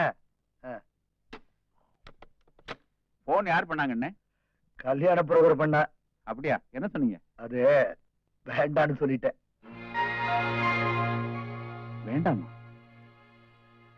அப்ப லட்சுமியோட கல்யாண விஷயம்? அண்ணே. நாளையில இருந்து கல்யாண வேலையை ஆரம்பிச்சிட வேண்டியதுதான் அது இல்லண்ணே. ஒரு பொண்ணை வீட்டுல வச்சுக்கிட்டு இன்னொரு பொண்ணுக்கு மட்டும் கல்யாணம் பண்ணா அது அது சரியில்லைண்ணே. அதனால என்ன? முதல்ல இவ கல்யாணத்தை நடத்தி முடிப்போம். அதுக்கப்புறம் அவளுக்கு ஒரு மாப்பிளைய பார்த்து அதையும் நடத்தி முடிச்சிருவோம். என்ன? முத்தம் கொடுக்குற வேலையெல்லாம் முடிஞ்சாச்சா? வந்து படுங்க. மத்தவங்க எல்லாம் தூங்க வேண்டாமா? இவ்வளவு ஒருத்தி அவளுக்கு நம்மள பார்த்தா பொறாமன்னு. இங்க பாருடி. பிறந்ததுல இருந்து ஒரே பாயில படுத்து ஒன்னா சாப்பிட்டு ஒன்னாவே வளர்ந்தவங்கடி நாங்க. கல்யாணத்துக்கு அப்புறம் தான் பிரிஞ்சு படுக்க ஆரம்பிச்சோம். எங்க இருந்தாலும் எங்க படுத்தாலும் இந்த முத்தம் கொடுக்கிற பழக்கம் மட்டும் எங்களை விட்டு போகாது. அது நீ இல்ல. அந்த ஆண்டவனே சொன்னாலும் இந்த பழக்கத்தை நாங்க மாத்திக்க மாட்டோம். போகும்போது யாரும் எதை அண்டிட்டு போறாங்க? இல்ல தம்பி?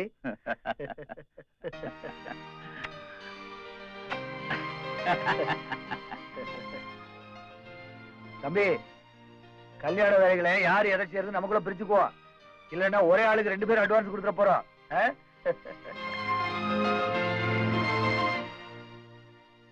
பாத்தியாடி எங்க அண்ணன. அவரோட பொண்ணு கல்யாணத்தை கூட நிறுத்திட்டு நம்ம பொண்ணு கல்யாணத்தை நல்லபடியா நடத்துன்னு நினைக்கிறாரே. அவர் அண்ணன் இல்லடி. அப்பா.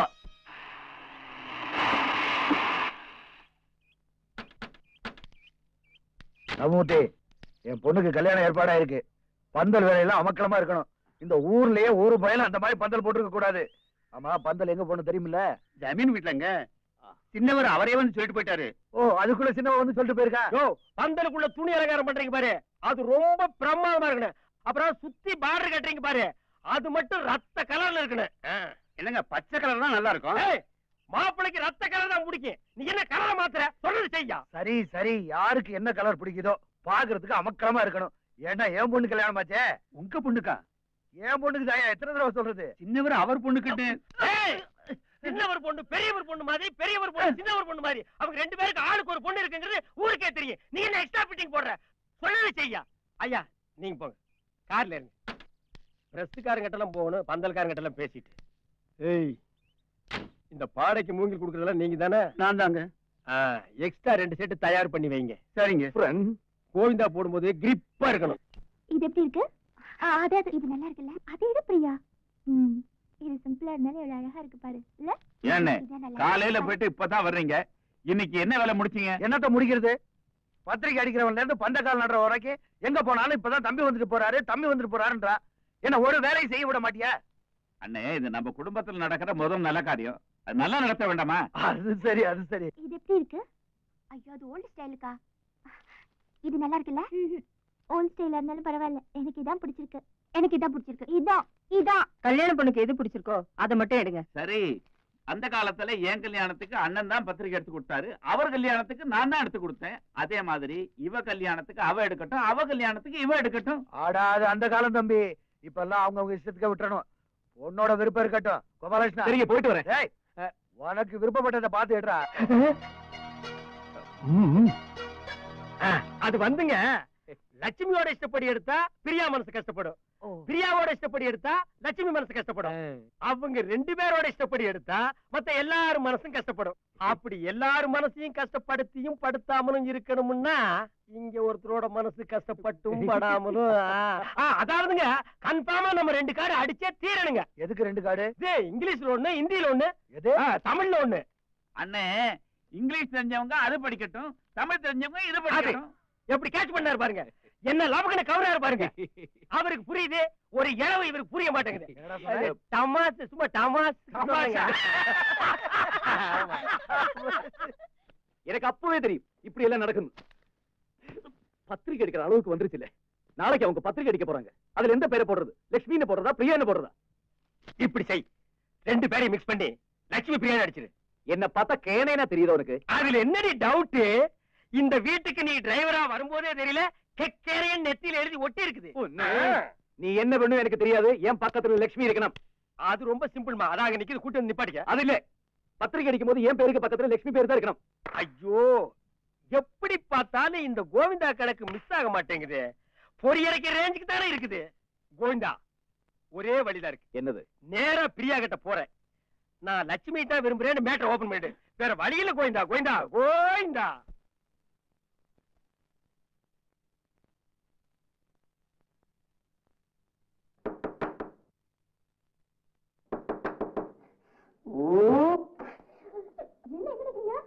எனக்கு கொஞ்சம் தனியா பேசுறேன் இந்த நேரத்துலயா?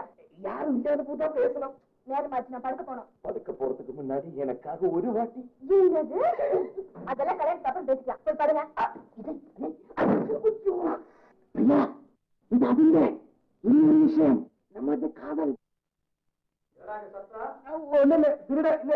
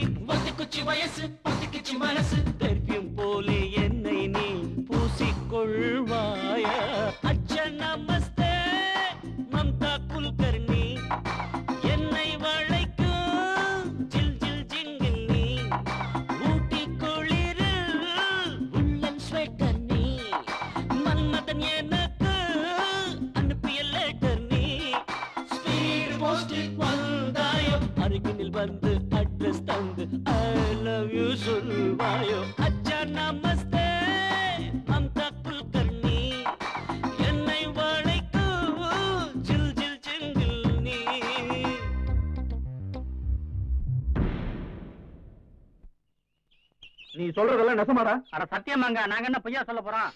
அப்ப அவ லட்சுமி பிரியா ரெண்டு பேர்த்தையும் லவ்ஸ் பண்ற மாதிரி ரூட் விட்டுட்டு இருக்கா. அப்படிதானே அட ஆமாங்க.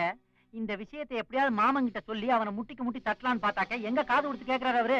அத நீ சொன்னா காது கொடுத்து கேட்க மாட்டாரு. அது எப்படி சொல்லணுமோ அப்படி சொல்லி அத நாங்க புரிய வைக்கிறோம். நீ கிளம்பு. அப்படியே மாமா கிட்ட நான் லட்சுமிய காதலிக்கிற விஷயத்த சொல்லி எனக்கும் ஒரு லைஃப் கொடுத்தீங்கன்னா விடுறா லட்சுமி உனக்கு தான் உன் கல்யாணத்தை நாங்க ரெண்டு பேரும் நடத்தி வைக்கிறோம். புறப்படு.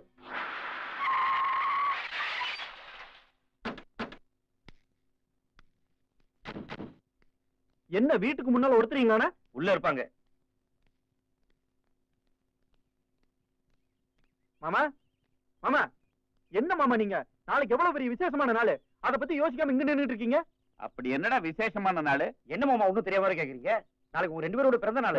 ஆமாங்க மறந்தே போயிட்டேன். போன வாரம் கூட ஞாபகம் வச்சிருந்தேன். அதுக்குள்ள மறந்துட்டேன். பிறந்த நாள் வருஷம் வருஷம் தான் வருது. நாளைக்கு மட்டும் அப்படி என்ன விசேஷமான நாள்? ஐயோ மாமா விவரம் தெரியாம பேசுறீங்களே. எல்லா பெரியவங்க வீட்லயும் ரெட்ட பிள்ளையா பிறந்தவங்களோட நாற்பதாவது பிறந்த நாளை ரொம்ப விசேஷமா கொண்டாடுவாங்க. அது மட்டும் இல்ல அடுத்த முகூர்த்தத்துல நம்ம ஒரு கல்யாணம் நடக்க போகுது. இந்த மாதிரி ஒரு ஃபங்க்ஷன் வச்சு தெரிஞ்சவங்க சொந்தக்காரங்க கூப்பிட்டு பொண்ணு மாப்பிள்ளை அறிமுகப்படுத்துவாங்க. அதுதானே இன்னைக்கு ஃபேஷன் நம்ம அப்படி பண்ணலன்னு வச்சுக்கோங்க. செலவுக்கு பயந்துகிட்டு ஃபங்க்ஷனை கொண்டாடலன்னு தப்பா பேசுவானுங்க. எந்த நாய் நம்மள பத்தி தப்பா பேச வேண்டாம். அப்படி ஒரு ஃபங்க்ஷன் இருந்தா நாம நடத்திடுவோம். என்னென்ன நீ சொன்ன சரிதான் தம்பி. ஆமா ஊருக்கெல்லாம் சொல்லி அனுப்பணும் அவங்க எல்லாம் வந்தா அதுக்கான ஏற்பாடெல்லாம் செய்யணும். இதெல்லாம் எப்படா ஒரு நாள் முடியும்? மாமா அதை பத்தி நீங்க கவலைப்படாதீங்க. ஊர்க்காரங்க சொல்லிட்டு வர்றது வந்ததுக்கு அப்புறம் கவனிக்க வேண்டியதெல்லாம் என்னுடைய பொறுப்பு. மத்தபடி ஃபங்க்ஷன் ஏற்பாடுகள் செய்யறது வீட்டை அலங்காரம் பண்றதுல என்னோட வேலை. நீங்க ஊன்னு சொல்லுங்க. நாளைக்கு ஃபங்க்ஷனை ஜாம் ஜாம் நடத்திடுறோம். தம்பிங்க சொன்னா கரெக்டா செஞ்சிருவானுங்க. இதெல்லாம் சொல்லியா குடுக்கணும்? சரி வர வரன்னு பேசிட்டு இருக்காம ஓடி வேலையை பாருங்க போங்க. என்ன? இத்தனை வருஷத்துல இப்பதான் நம்ம பிறந்த நாள் கொண்டாட போறோம். என் தம்பி? வர்றவங்க உத்தேசமா என்ன என்ன வயசு மதிப்பாங்க? பேசாமா இருபத்தி நாலு இருபத்தாறு. ஆமா ஆமா பதினாறுன்னு சொல்லுவாங்க. நினைப்ப பாரு. திருட்டு பையன் அவன் வயசை குறைக்கிறதுக்காக என் வயசை குறைச்சு சொல்றான்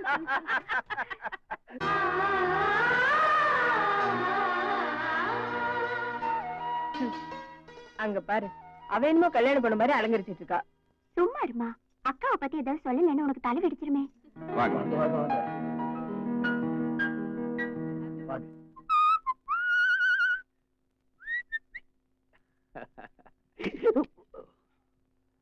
கிருஷ்ணா கிருஷ்ணா கிருஷ்ணா.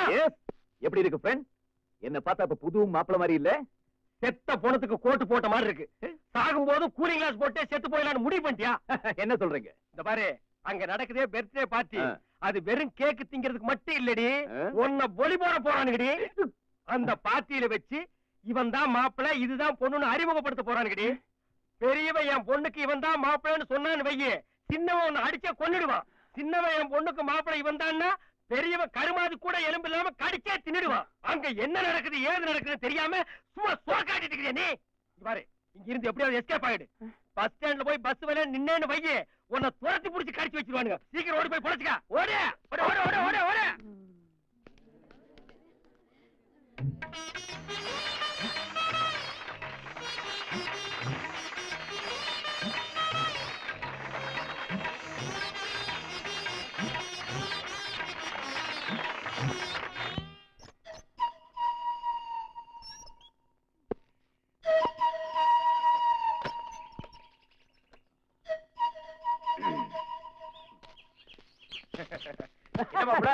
எங்கேயோ வெளியே கிளம்பிட்டீங்க போல இருக்கு. என்ன சொல்லி கிளம்பி கிளம்பிட்டீங்க? நான் ஒண்ணு. மூச்சா அடிச்சிட்டு வந்துடுறேன். அங்க போக வேண்டாம். வரையும் கூட ஏய் மூத்திரம் அடிக்கணும் கூட உங்கள்ட்ட கேட்கணுமா? நான் பார்த்து வீட்டுக்கு போய் ஆகணும். எதுக்கு? சின்ன பாட்டிக்கு உடம்பு சரியில்லை டெலிகிராம் வந்திருக்கு. டெலிகிராமா? போன் வந்து. எப்போ? இப்பதான் ஒரு ஆளு வந்து சொல்லிட்டு போனேன். யார் சொன்னாலும் போக கூடாது. மரியாதைய கையெடுக்கலைன்னா கிழிஞ்சிடும். என்னடா சொன்ன? போட்டு கிழிஞ்சிடும். கிழிஞ்ச தட்டிக்கலாம் இன்னும் நீ போகலையா? விடல. இந்த பிறந்த நாள் பார்ட்டியில உங்களுக்கு எல்லாம் ஒரு முக்கியமான செய்தி சொல்ல போறேன். வர்ற முகூர்த்தத்துல இந்த வீட்ல ஒரு கல்யாணம் நடக்க போகுது. மாப்பிள்ளை யாருன்னா? பெரிய ஜமீன். சேனாதிபதி கவுண்டரோட பேரன் கோபாலகிருஷ்ணன். நீ என்ன படிச்சிருக்க? பிகாம் ஆ அந்த காம் இல்லப்பா பிகாம் ஆ இந்த காம் சரி சரி. பொண்ணு பேரையும் வாயாலையும் சொல்லிடு.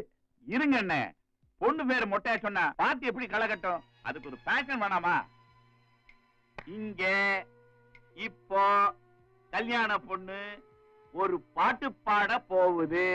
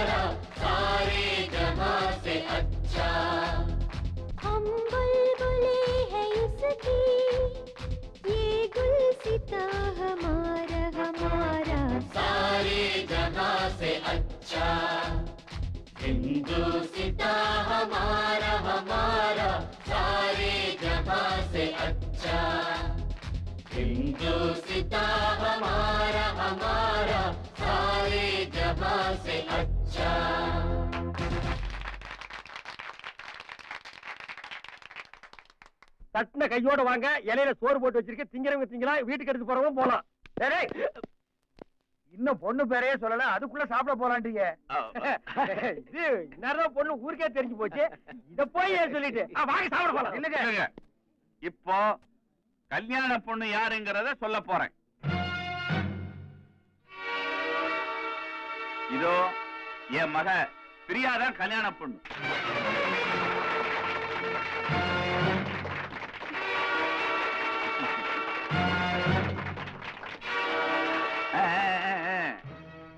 கல்யாணம் நடக்க போறது ஜமீனோட பெரிய வீட்டுல வச்சு. அந்த வீட்டையே மாப்பிளைக்கு சீதனமா கொடுக்க போறோம். இப்படி ஒரு கல்யாணம் இது வரைக்கும் எங்கேயும் நடந்திருக்காது. அப்படி ஜாம் ஜாம்னு நடத்த போறோம். பத்திரிக்கை கிடைச்ச கையோட நீங்க எல்லாரும் கண்டிப்பா கல்யாணத்துக்கு வரணும்.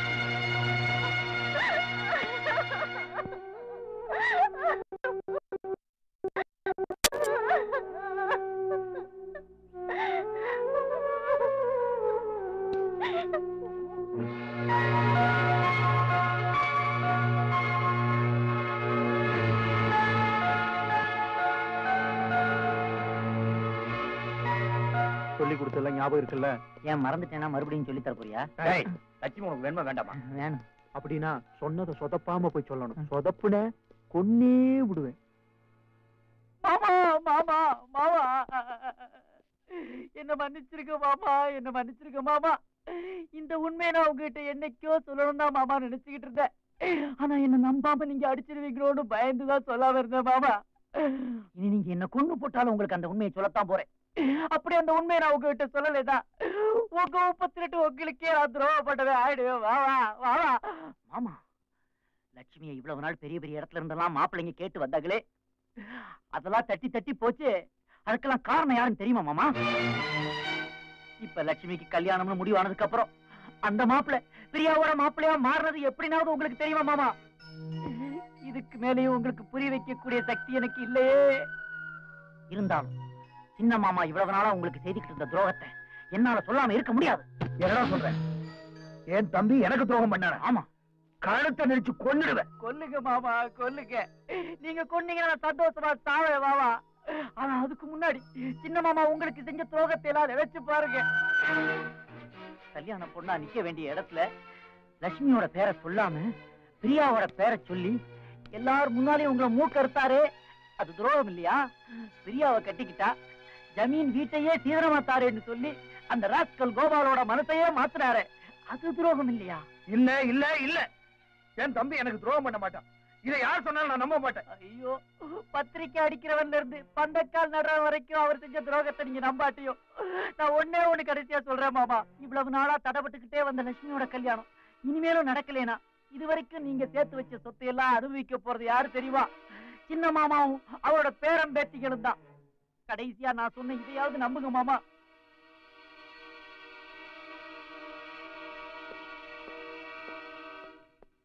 சொன்ன மாதிரி பத்த வச்சிட்டேன்ல? ஆனா ஆக்டிங்னா கொஞ்சம் ஓவரா போச்சுன்னு பயமா இருக்குது. டேய் நடிப்புல நல்லா தான் இருந்துச்சு. ஓகே அப்ப எனக்கு லட்சுமி கல்யாணம். நாங்க தான் சொல்லி இருக்கோம்ல. செஞ்சு வைப்போம். போடா. ஓகே போ. see you. கிறுக்கு பைய.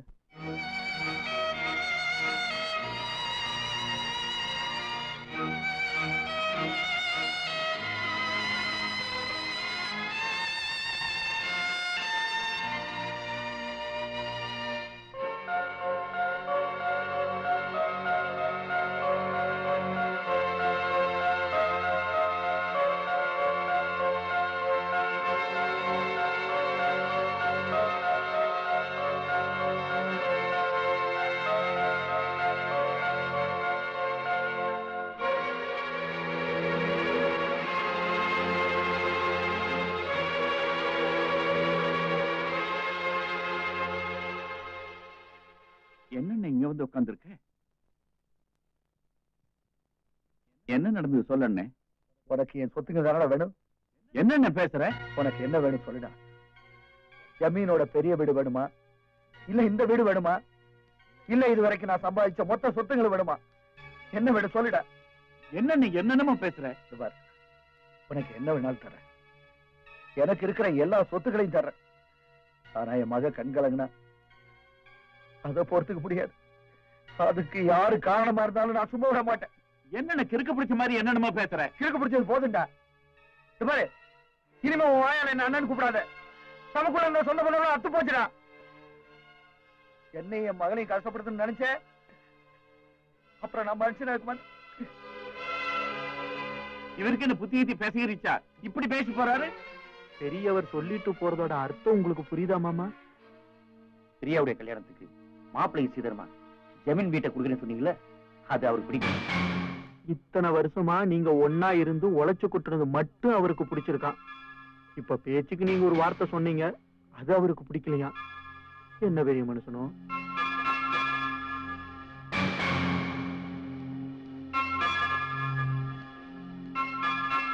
என்னடா? உனக்கு ஜமீன் வீடு தானே வேணும்? எடுத்துக்க.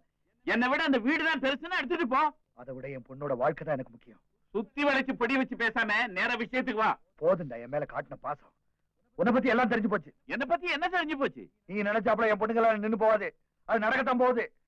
ஆனா நீ எனக்கு செஞ்சிருக்க பாரு துரோகம். அதை மட்டும் என்னால மறக்க முடியாதா? என்னடா சொன்னேன் நான் உனக்கு துரோகம் பண்ணனா? சாத்தனமா ஏதாவது சொன்னா நான் உன்னை சும்மா விட மாட்டேன். சொல்லுடா. நான் உனக்கு என்ன துரோகம் செஞ்சேன்? சொல்லுடா. சொல்லல விட மாட்டேன்? சொல்லு. என்ன கைய? நாயே. அண்ணே. அண்ணனா? அண்ணன். ஹக். அண்ணன் அண்ணன் பாசக்காரமா நடிச்சு மோசம் பண்ணிட்டியடா பாவி. அண்ணன்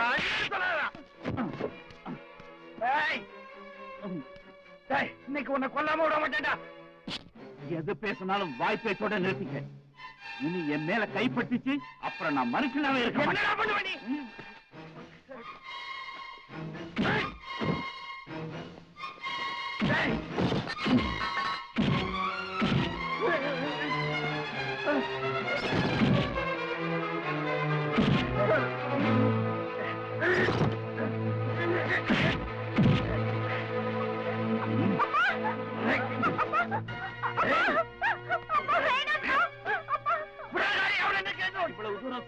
கை நீட்டி அடிச்சிட்டு இல்ல? பரவாயில்ல. அத கூட நான் பொறுத்துக்க வேண்டாம். ஆனா உனக்கு உன் மகளுக்கு துரோகம் செஞ்சேன்னு சொன்ன பார் அதைத்தாண்ட என்னால பொறுத்துக்க முடியல. இவ்வளவு நாளா அண்ணன் அண்ணன் உன்னையே சுத்தி வந்த என்ன பார்த்து மோசக்காரன் சொல்லிட்டேடா நாயே. விடுகிற கைய. என்னடா பார்த்துட்டு இருக்கிறீங்க வாங்க போகலாம். இனிமே ஒரு நிமிஷம் கூட இந்த பிச்சைக்கார பைய விட்டு இருக்க. இல்லடா. போறதுக்கு முன்னாடி நான் சொல்றதை கேட்டுட்டு போ. நீ நினைச்சிட்டு உன் பொண்ணோட கல்யாணம். அது நடக்காது.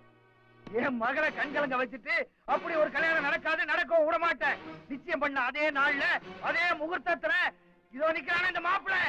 இவன் கையால என் பொண்ணு கழுத்துல தாலி கட்ட வைக்க வேண்டாம். என்னடா சொன்னேன் என் மக கல்யாணத்தை நிறுத்திட்டு உன் மக கல்யாணத்தை நடத்துவியா? நான் உயிரோட இருக்கிற வரைக்கும் அது நடக்காது நடக்க விட மாட்டேன். இவன் பேச்ச கேட்டுட்டு ஏதாவது கேட்பாரு பண்ண. உன்னை மட்டும் இல்ல உன் குடும்பத்தையே கொண்டு கொளுத்திருவேன் அப்ப தெரியும்டா நான் யாருன்னு. பாக்குறேன்டா ஒண்ணு நீ இருக்கணும் இல்ல நான் இருக்கணும். அது நீயா நானான்னு பாத்துருவோண்டா பாத்துருவோண்டா,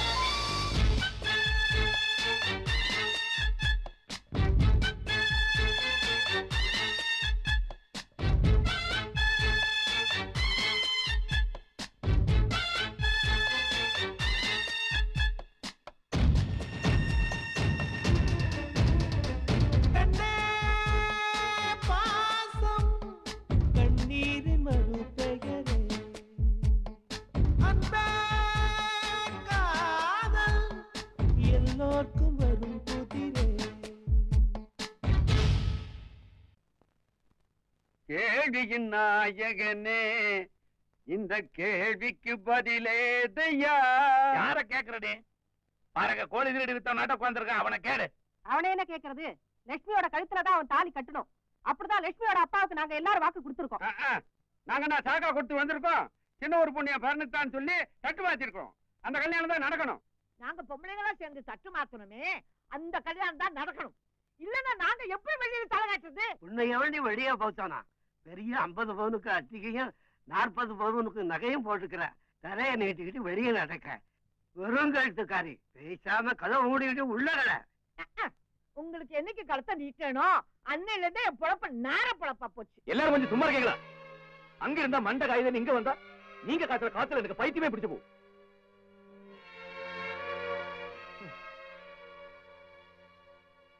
கோபாலகிருஷ்ணா அந்த ரெண்டு தடியன் கிட்ட இருந்து எஸ்கேப் ஆகக்குள்ள ரொம்ப கஷ்டமா போச்சு. என்னாச்சு? கோபாலா அண்ணனும் தம்பியும் மிலிட்டரிக்கு ஆள் செலக்ஷன் பண்ண மாதிரி பண்ணிட்டு இருக்கானுங்க. இப்ப மட்டும் நீ அவனுகிட்ட கிடைச்ச உன்னை கை வேற கால் வேற அக்கக்கா பிச்சை எடுத்துருவானுங்க. அதனால பொட்டி தூக்கிட்டு ஊரை விட்டு ஓடி போயிரு. அவனை எங்கடா போய் சொல்ற? அங்க பாரு, ஏறி போறேன் அட ரெண்டு மீன் பிடிச்சிட்டு வா. இந்த பாரு ஸ்டேட்டை விட்டு ஸ்டேட் போவியோ பாஸ்போர்ட் எடுத்துட்டு ஃபாரின் போவியோ எனக்கு தெரியாது. இந்தா பிரச்சனை முடியிற வரைக்கும் ஊரை விட்டு ஓடி போயிரு. இப்படி. பாரு ஒரு கூட்டமே வருது. நான் எஸ்கேப் ஆயிக்கிறேன். வணக்கம் சின்ன முதலாளி என்ன ஆமா முதலாளி என் பேரு காரமட கோவிந்தனுங்க. இவங்க எல்லாம் நம்ம ஆளுங்க தான். நீங்க ஒண்ணும் பயப்பட வேண்டாம். பெரிய முதலாளி உங்களுக்கு பாதுகாப்பு இருக்கு சொல்லி எங்களை அனுப்பிச்சிருக்காரு. அப்படின்னா கொஞ்ச நாளைக்கு நீங்க எல்லாம் இங்கதான் இருக்க போறீங்க. ஆமா முதலாளி என்ன விட்டு எங்கும் போயிடாதீங்க. பத்திரமா கேர்ஃபுல்லா பாத்துங்க பாத்துக்கிறேன் முதலாளி ஒண்ணு பண்ணுங்க. உள்ள போய் டீ சாப்பிடுங்க. எனக்கு பக்கத்துல ஒரு சின்ன வேலை இருக்கு. சீக்கிரமா முடிச்சிட்டு வந்துடுறேன். முதலாளி உள்ள போங்க. பெரியவர் உங்களை எங்க வெளியே போகலாம் சொல்லியிருக்காரு. என்ன வெளில போக கூடாது சொல்றதுக்கு நீ யாருடா? இது ஏன் வீடு? எப்ப வேணா வெளில போவேன் எப்ப வேணா உள்ள வருவேன் அத கேட்கறதுக்கு நீ முதல்ல உள்ள போனா வெளியே வந்துட்டு இருக்க நீயே? பயந்துட்டேங்களா ஒரு சவுண்ட் விட்டா என்ன பண்ணுவீங்கன்னு டெஸ்ட் பண்ணேன். பரவாயில்ல. நல்ல தைரியமான ஆளுங்களை தான் முதலாளி அமைச்சிருக்காரு. என்ன இப்படி பாக்குறீங்க? விட்டா நான் ஓடியே போறேன். ஒரு சின்ன வேலை இருக்கா அதை முடிச்சிட்டு வந்துடுறேன். எந்த வேலையா இருந்தாலும் எங்க கிட்ட சொல்லுங்க நாங்க செஞ்சு தரோம். எனக்கு முடி வெட்டணும் என் தலையை கழட்டி எடுத்துன்னு போய் வெட்டிட்டு வா. கொண்டு போ. அது ஒண்ணும் பிரச்சனை இல்ல. டேய் சலூன் கடை போய் ஒரு ஆளை கூட்டு அண்ணே இருங்க அண்ணே. இங்க ரெண்டு மூணு செலூன் இருக்கு. நம்ம கடை எதுன்னு காட்டுறேன். இல்லன்னா இந்த மாதிரி தொங்க விட்டுருவான் அதோ அங்க ஒரு மஞ்ச கட்டடம் தெரியுது பாரு. அதுதான் உங்க அம்மாவோட பெத்த அம்மத்தான் வீடு. ஆள விடுற சாமி!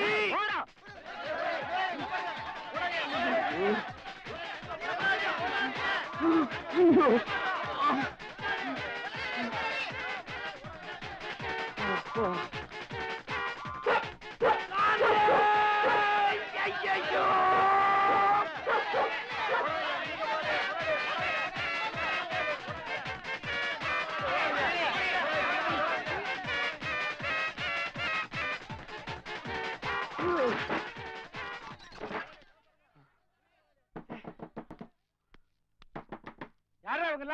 அவங்க எல்லாம் பொண்ணு வீட்டுக்காரங்க. மாப்பிள்ளை ஊர்வலமா அழைச்சிட்டு போறதுக்கு வந்திருக்காங்க. ஏண்டா நாத சொல்ல மேல ஒன்னையும் காணும். ஆளு கொண்டு கையில வச்சிருக்காங்க. தேவைப்படும் போது எடுத்து வாசிப்பாங்க. டேய் நிறுத்துங்கடா. முதலாளி சின்ன ஒரு சொல்லி தான் நாங்க வந்திருக்கோம். நீங்க ஒண்ணும் பயப்படாதீங்க. உங்களை சின்ன ஒரு பந்தல் கூட்டு போற வரைக்கும் நாங்க பாதுகாப்பா இருப்போம். நீங்க தைரியமா இருங்க.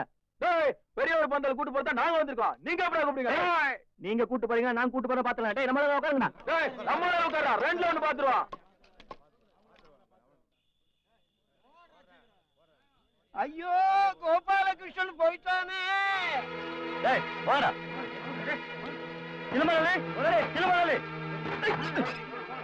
முதலாளி சிலுமலை முதலாளி சிலுமலை கோபாலகிருஷ்ணன் கதவை தரேடா.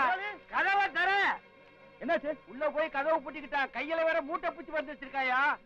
சிலுமலை சிலுமலை முதலாளி முதலாளி சிலுமலை சிலுமலை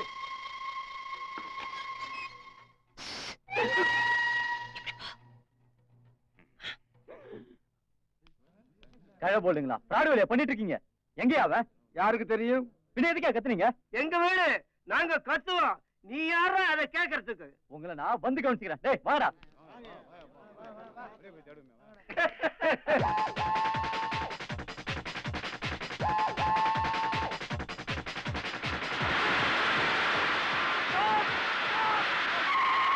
லிஃப்ட் ஒரு லிஃப்ட் ஏய். என்னது? கும்பிட போன தெய்வம் குறுக்க வரும்பாங்க இந்த தெய்வம் முக்காடு போட்டு வருது. ஐயா அங்க அண்ணன் தம்பி பந்தக்கால கட்டிட்டு ஆளுக்கு ஒரு பொண்ணை வச்சு உட்காந்துருக்காங்க நீ ராத்திரியில் ஓடி எக்ஸசைஸ் பண்ணிருக்க. காலைல சுவ கூட காண. வாட் இஸ் திஸ் நான்சன் சரிவா ஏதாவது ஒரு பந்தக்கால உட்கார்ந்து எவ காலத்திலேயே தாலி கட்டு. வர முடியாது. ஏன்? இன்னைக்கு உன் பிளான்ல எனக்கு தெரியும்.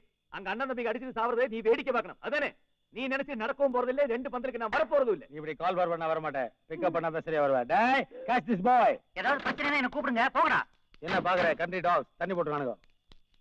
டேய் ஏழு கழுத வயசு ஆச்சு கல்யாணம் பண்ணாங்கிற அடிச்சு தூக்குடா அவனை.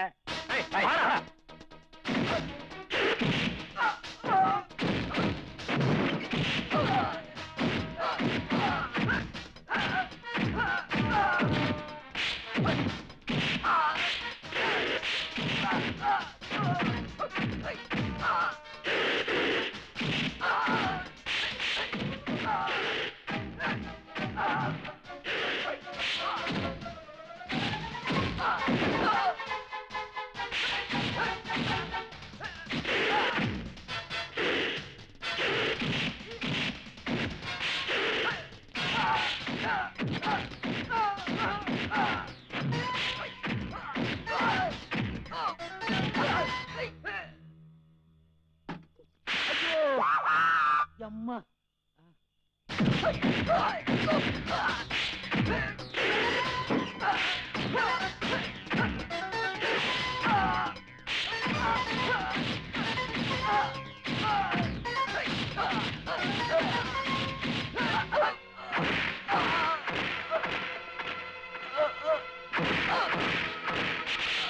சபாஷ் அடிக்க முடியும்? It is call mental file ads okay போறாடே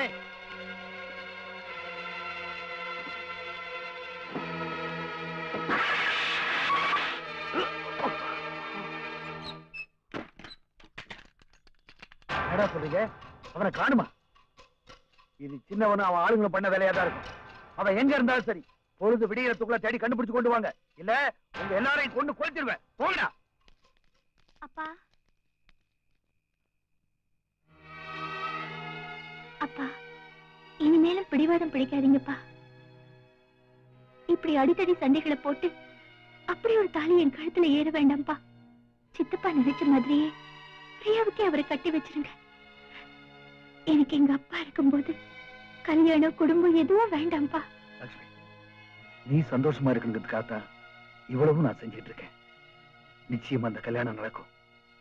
அப்படி நடக்கலன்னா உங்க அப்பாவை நீ உயிரோட பார்க்க முடியாது. அவன் ஒருத்தனை பிடிக்கிறதுக்கு உங்களுக்கு துப்பு இல்ல. தடி பசங்களா. உங்களுக்கு எல்லாம் இருக்கிற மீச்ச பொழுது விடியறதுக்குள்ள அவன் இங்க வந்து சேரணும். இல்ல உங்களை எல்லாம் கொளுத்திடுவேன் போகலாம் ராஸ்கல். மாமா அந்த வேலையை நாங்க செஞ்சிட்டோம் மாமா இப்ப அவன் எங்க கஷ்டம் முகூர்த்தத்துக்கு கொஞ்சம் முன்னால மாப்பிள்ளைய கொண்டாந்து மணவரையில உட்கார வைக்க வேண்டியது எங்களோட பொறுப்பு. ஆனா அதுவரையில அவ எங்க இருக்காங்கிற விஷயத்த உங்ககிட்ட கூட சொல்ல மாட்டா. அது சஸ்பென்ஸ் டேய் இதுல சொதப்பல் எதுவும் இருக்காத. மாமா பிரியா கடத்துல தாலியானுக்கு அப்புறம். எங்களை பத்தி நீங்க நினைப்பீங்க. இன்னைக்குதான் மாப்பிள்ளைங்களா ஒரு உருப்படியான காரியத்தை செஞ்சிருக்கீங்க.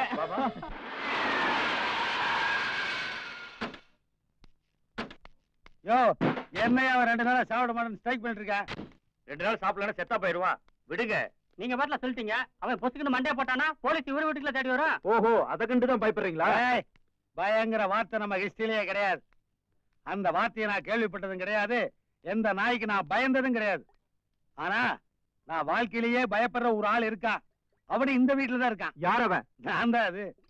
பிரதர் என்னுடைய பிரெயினோட ஒர்க்கிங் ஸ்டைல நான் டூ பார்ட்டா பிரிச்சு வச்சிருக்கேன்.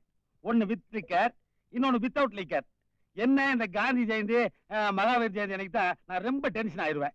ஏன்? ஒயின் ஷாப்ல மூடிட்டு வரல? சரக்கு கிடைக்காதுல்ல. அதனால நிதானத்துல நான் ரொம்ப கன்ஃபியூஸ் ஆகி நான் ஃபுல்லா டென்ஷன் ஆயிருவேன். அதனாலதான் எங்க முதலாளி எப்பவுமே புல் போதே மெயின்டைன் பண்ணிட்டு இருக்காரு. ஒரு நாள் நம்ம பெருமை வேண்டாம் பேசிட்டு இருக்கிறேன். பிரதர் இப்ப நான் ஆ போதையில் இருக்கேன். நாம என்ன பண்ண போறோம் ஏது பண்ண போறோங்கிற பிளானை நீங்க சொல்லிட்டீங்கன்னா அதை நான் ஃபுல் போதையில மெயின்டைன் பண்ணிக்குவேன். நாளைக்கு கோபாலகிருஷ்ணனை கூப்பிட்டுக்கிட்டு சின்னவரோட பந்தலுக்கு போறோம். அதுவும் எப்போ?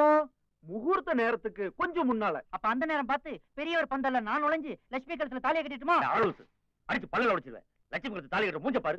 சின்னவரோட பந்தலுக்கு மாப்பிள்ளக்கார வந்துட்டான்னு தெரிஞ்ச உடனே பெரியவர் அவர் ஆளுகளோட அங்க வருவார். அங்க பெரியவரோட ஆளுகளுக்கும் சின்னவரோட ஆளுகளுக்கும் வெட்டும் குத்தும் அடிதடியும் நடக்கும். அந்த சமயத்துல நீங்க உங்க ஆட்களோட உள்ள நுழைஞ்சு ரெண்டு கும்பலையும் விலைக்கு விடுற மாதிரி நடிக்கிறீங்க. அப்போ கும்பல்ல ஒருத்தனா நின்னு பெருசு நான் போட்டு தள்ளி ஐயோ மாமாவையா கொலை பண்ண போறீங்க?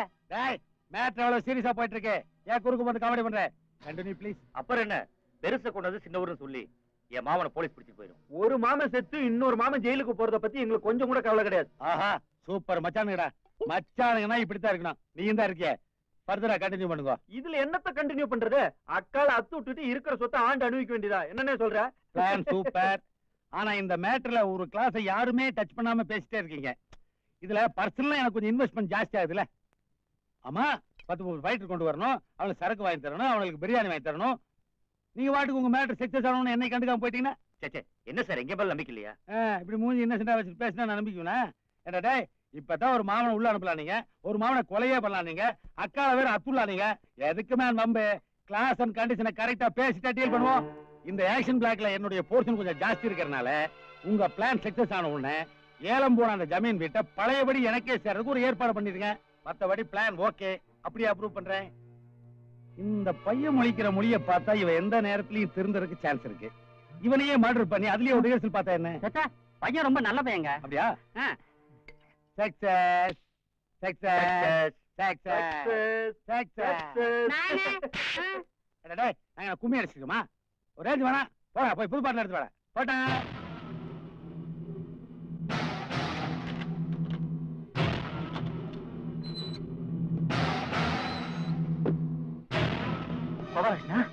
கோபாலகிருஷ்ணா ஒன்னதான்ப்பா எந்திரிப்பா. முதல்ல இந்த இடத்த விட்டு போயாகணும். எந்திரிப்பா. உன்னை கூட வச்சுக்கிட்டு பெரியமாமையை கொலை பண்றதுக்கு திட்டம் போட்டு வச்சிருக்காங்க. முதல்ல இந்த இடத்த விட்டு போயாகணும். போப்பா. போப்பா. இப்படி சொல்லி திறந்து விட்டாத்தான் அவன் வெளியில வருவான்னு உனக்கு யாரு சொன்னா? இல்ல இது யாரு கொடுத்த பிளான் ஐயோ கோவாலு. இத்தனை நாள் லட்சுமி மேல இருந்த ஆசையில தான்ப்பா அவங்க சொன்னதுக்கெல்லாம் ஆமாம் போட்டேன். ஆனா இப்போ பெரிய மாமாவையே கொலை செய்யற அளவுக்கு அவங்க துணிஞ்சிட்டாங்க. அதுக்கு துணை போற அளவுக்கு நான் ஒண்ணும் அவ்வளவு மோசமான ஆள் இல்லப்பா. என்ன நம்பு. வெளிய காளி என்னை காரோட காத்துக்கிட்டு இருக்காரு. வா போகலாம். வாப்பா.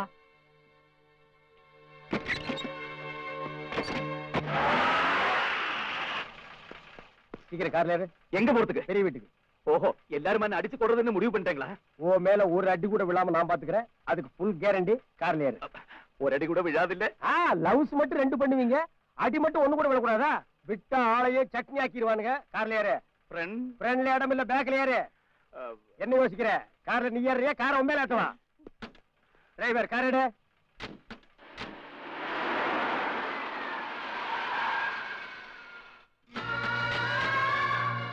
ஓ பிரியா உனக்காக காத்துட்டு இருக்க. ஓ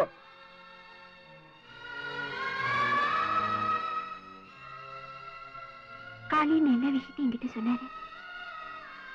கண்ணாமூச்சி விளையாட்டுல எல்லாரும் கண்ட கட்டிக்கிட்ட மாதிரி ஆயிடுச்சு. என்னோட கல்யாணம் அந்த கண்ணாமூச்சி விளையாட்டு மாதிரியே இருக்கட்டும்.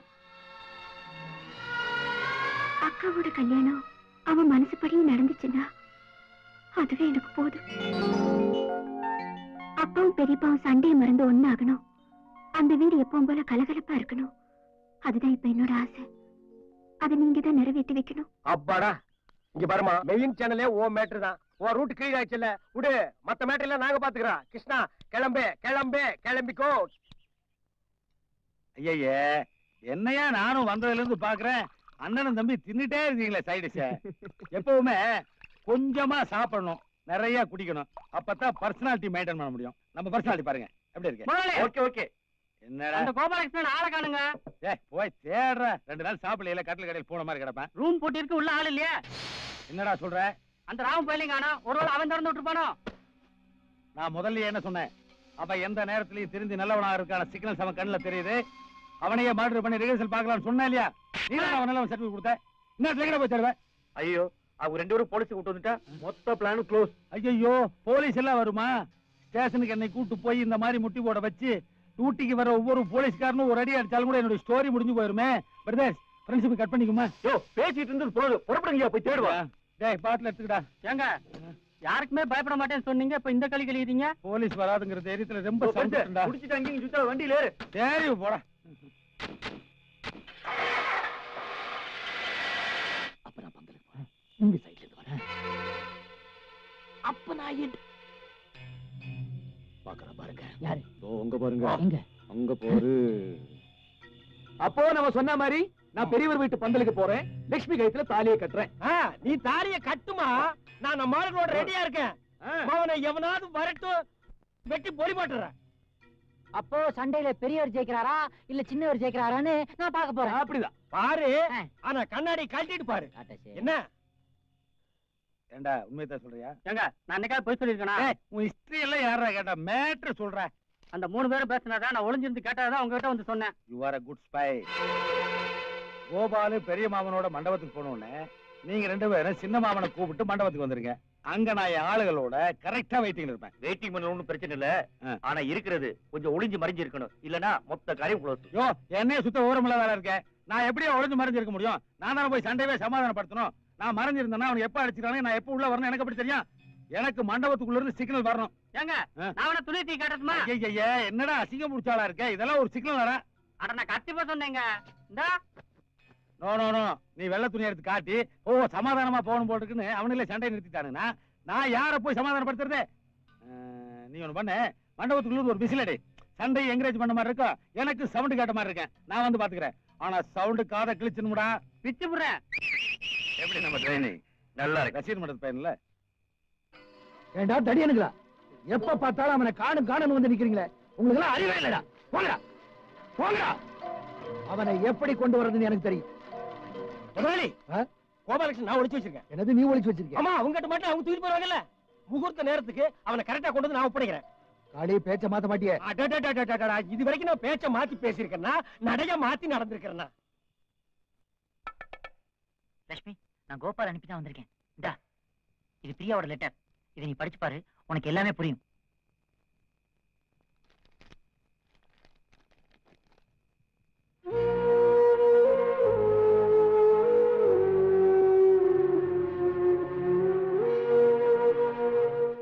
நீங்க என்ன சொன்னாலும் என் முடிவை நான் மாத்திக்க மாட்டேன். ஒரே ஆத்தாட்ட பால் குடிச்சு வளர்ந்தவங்க நாங்க. அவனுக்கு இருக்கிற வீம்பு எனக்கு இருக்கத்தான் செய்யும். அவன் மட்டும் இந்த கல்யாணத்தை நடத்தி ஜெயிச்சுட்டு போனா நான் சும்மா இருக்கணுமா? அப்பா வெட்டு குத்து அடிதடி இந்த கல்யாணத்தை பண்ணிட்டா மட்டும் நீங்க ஜெயிச்ச மாதிரி ஆயிடாதுப்பா. என் மனசுல பட்டதை சொல்லிட்டேன்ப்பா. அப்புறம் உங்க இஷ்டம்.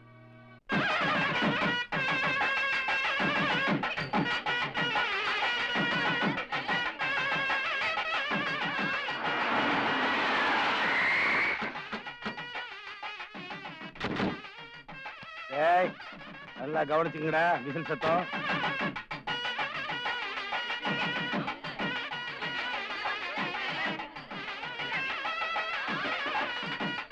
மாறி கோபாலகிருஷ்ணன் அந்த பந்தலுக்கு வந்தா உடனே என்கிட்ட வந்து சொல்லி.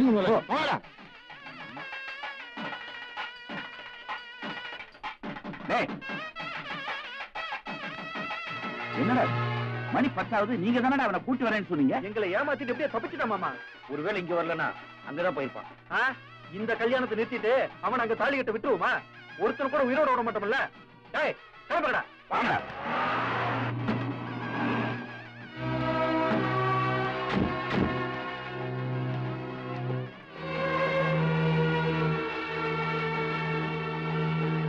டேய் மாப்பிள்ளைக்கு மாலை எடுத்துட்டு வா போ.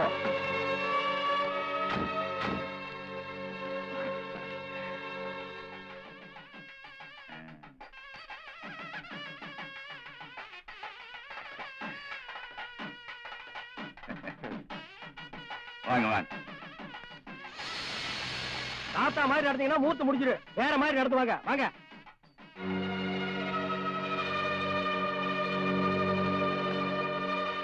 டிரைவர் எடுப்பா வண்டிய.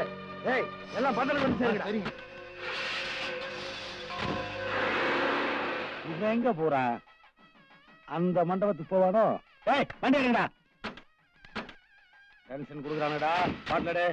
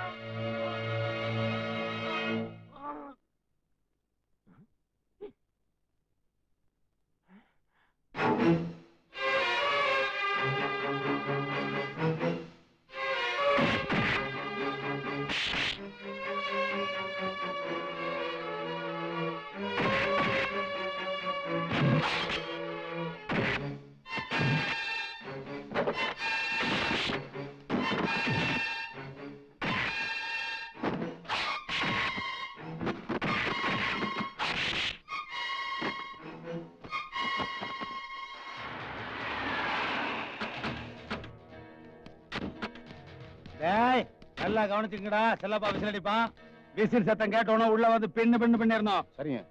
போதையில இருக்கிறனால நல்ல சோடால மூஞ்சி கலவு குடுற ஏய் வந்தாடா. நீங்களும் மூஞ்சி கலவு நான் கலவுனா தெளிஞ்சு கன்ஃபியூஸ் ஆயிருவேடா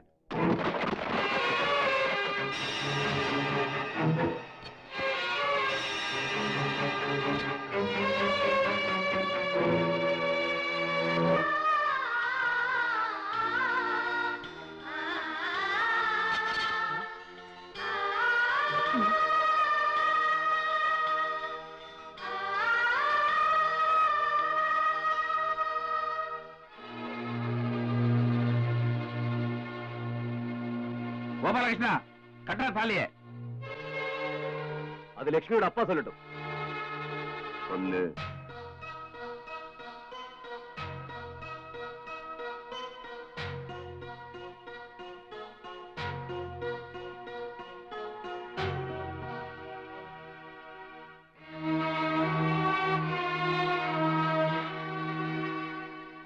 அவர் பொண்ணுக்காக போட்ட பந்தல்ல உங்க பொண்ணோட கல்யாணத்தை நடத்துறாரு பாருங்க. இப்போவும் நீங்க உங்க தம்பியை பத்தி புரிஞ்சுங்க யாராரோ சதி பண்ணி உங்களை பிரிக்கணும்னு நினைச்சாலும் உங்க ரெண்டு பேரும் யாராலுமே பிரிக்க முடியாதுங்கிறத இப்போவும் தெரிஞ்சுங்க இது வரைக்கும் நடந்த எல்லா பிரச்சனைக்கும் முக்கிய காரணமே நான் தான். அதுக்கு எனக்கு என்ன தண்டனை வேணா கொடுங்க. ஆனா நீங்க ரெண்டு பேரும் எப்பவும் போல ஒன்னாவே இருக்கணும். அது மட்டும் போதும் எனக்கு. எல்லாத்தையும் என் மக சொன்னா தப்பு நீ மட்டும் பண்ணல. எங்க வீட்டு பொண்ணுங்களும் தான். சரி நடந்ததை விட. இனி நடக்க போறத அண்ணன் தான் சொல்லணும். இனிமே நான் சொல்றதுக்கு என்ன இருக்கு? அதான் எல்லாரும் சேர்ந்து முடிவு பண்ணிட்டீங்களே. அதுக்கு என் பொண்ணு கூட உடம்பு இருந்திருக்கா ஏதோ நீங்களா பார்த்து பண்ணுங்க. என்ன என்ன சவுண்டை காணாமே?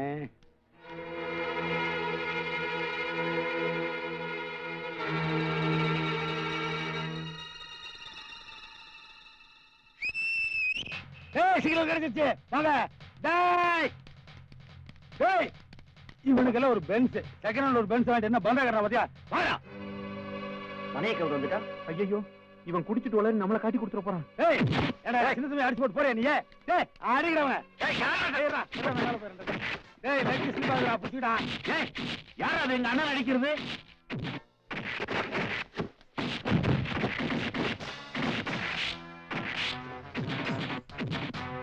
பாண்டியா செல்லப்பா வாங்கடா. வந்து அடிச்சு நொறுக்குங்கிற இவங்கள. ஏய் பைத்தியார பயல. பாண்டியன செல்லப்பா உங்க ஆளுகளடா அவனுக்கு நம்ம ஆளுங்க அவனுக்கு எப்பவோ கட்சி மாறிட்டானுங்க. வளரிட்டான்டா. ஏய் பாண்டியா செல்லப்பா. நேத்து நாம பேசி செட்டப் பண்ணமே. அந்த மாதிரி சின்னவனை பெரியவனை க்ளோஸ் பண்ணுங்கடா. கோர்ட்டு செலவு நான் பாத்துக்கிறேன். நம்ம எப்ப செட்டப் பண்ணா? நேத்து நைட் நாம பேசி செட்டப் பண்ணலையா? விலைக்கு ஒரு மாதிரி உள்ள பூந்து வீசி தெரியலன்னு பேசல? நாங்க சொல்லவே இல்ல. நான் குடிச்சிருக்கா நீ குடிச்சுக்கிட்டியா? டேய் என்னடா கண்ணடிக்கிற நானா பொம்பளையா? சைட் அடிக்கிறியா? டேய் அப்ப நாம நேத்து பேசி செட்டப் பண்ணவே இல்ல. இல்ல. அப்ப நீங்க ஆள் இல்ல. இல்ல. ஓகே டேய் இவனை நம்ம இல்லடா நம்ம இல்ல இந்தாங்கடா உங்களுக்கு தண்ணி தெரிஞ்சாச்சு நேத்து நாம தண்ணி மேப்பில பேசுனதல்ல எச்சி தொட்டு அடிச்சிடுறேன் டேய் இவனுங்களை விடுங்கடா. எப்ப வேணாலும் அழைச்சிக்கலாம் இந்த அழகையில் கையில் அடிங்கடா. டேய் லொல்லு அடி அடி ஸ்டார்ட் ஆயிட்டு வாடா.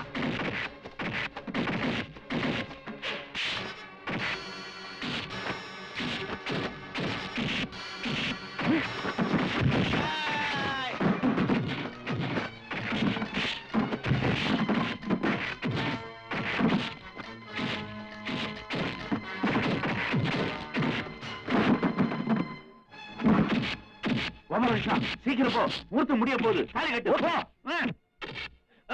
யாரும் போகாதீங்க. அப்படியே உட்காருங்க. தந்தைய பாக்குறவங்க அங்க பாருங்க கல்யாணம் பாக்குறவங்க இங்க பாருங்க மேளம். தாத்தா ஆசீர்வாதம். ஓகே.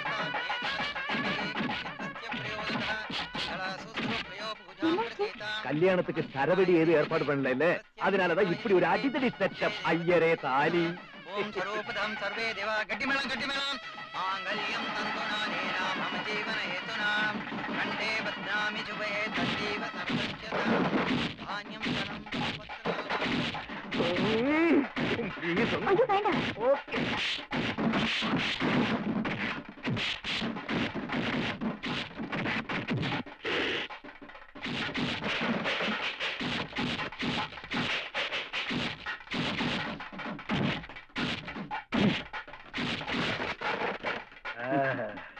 அட என்னங்க? ஆசீர்வாதம் பண்ணாம ஒரு கட்டை கட்டிட்டீங்க. நல்லா இருங்க நல்லா இருங்க. என்னப்பா மாமனார் வெட்டி? நீ வெட்டி. நீ என்ன? சரி இந்த மாமனார் வெட்டிடுவோம் சம்பளம் அறா ஒரே அறையில போறீங்க இறக்கிட்டான்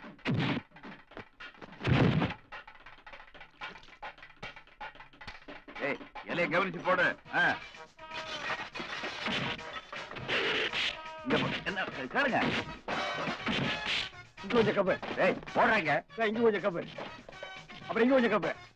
கப்பிக்கா பாயசம் உண்டா? அப்படி லைனா கப்பிட்டு போ. ஏய் தண்ணியை கப்பு. வெறும் வெறும் அடே, அவனை, நீங்க போங்க, நான் அடிக்கிறேன். அடிக்கிறீங்களா? அடிக்க அடிக்க அடிக்க அடிக்காதீங்க. அடிக்காதீங்க. அடிக்காதீங்க பாப்பா ஐயோ நான் தெரியாம விட்டுட்டேன். இங்க குடிங்க.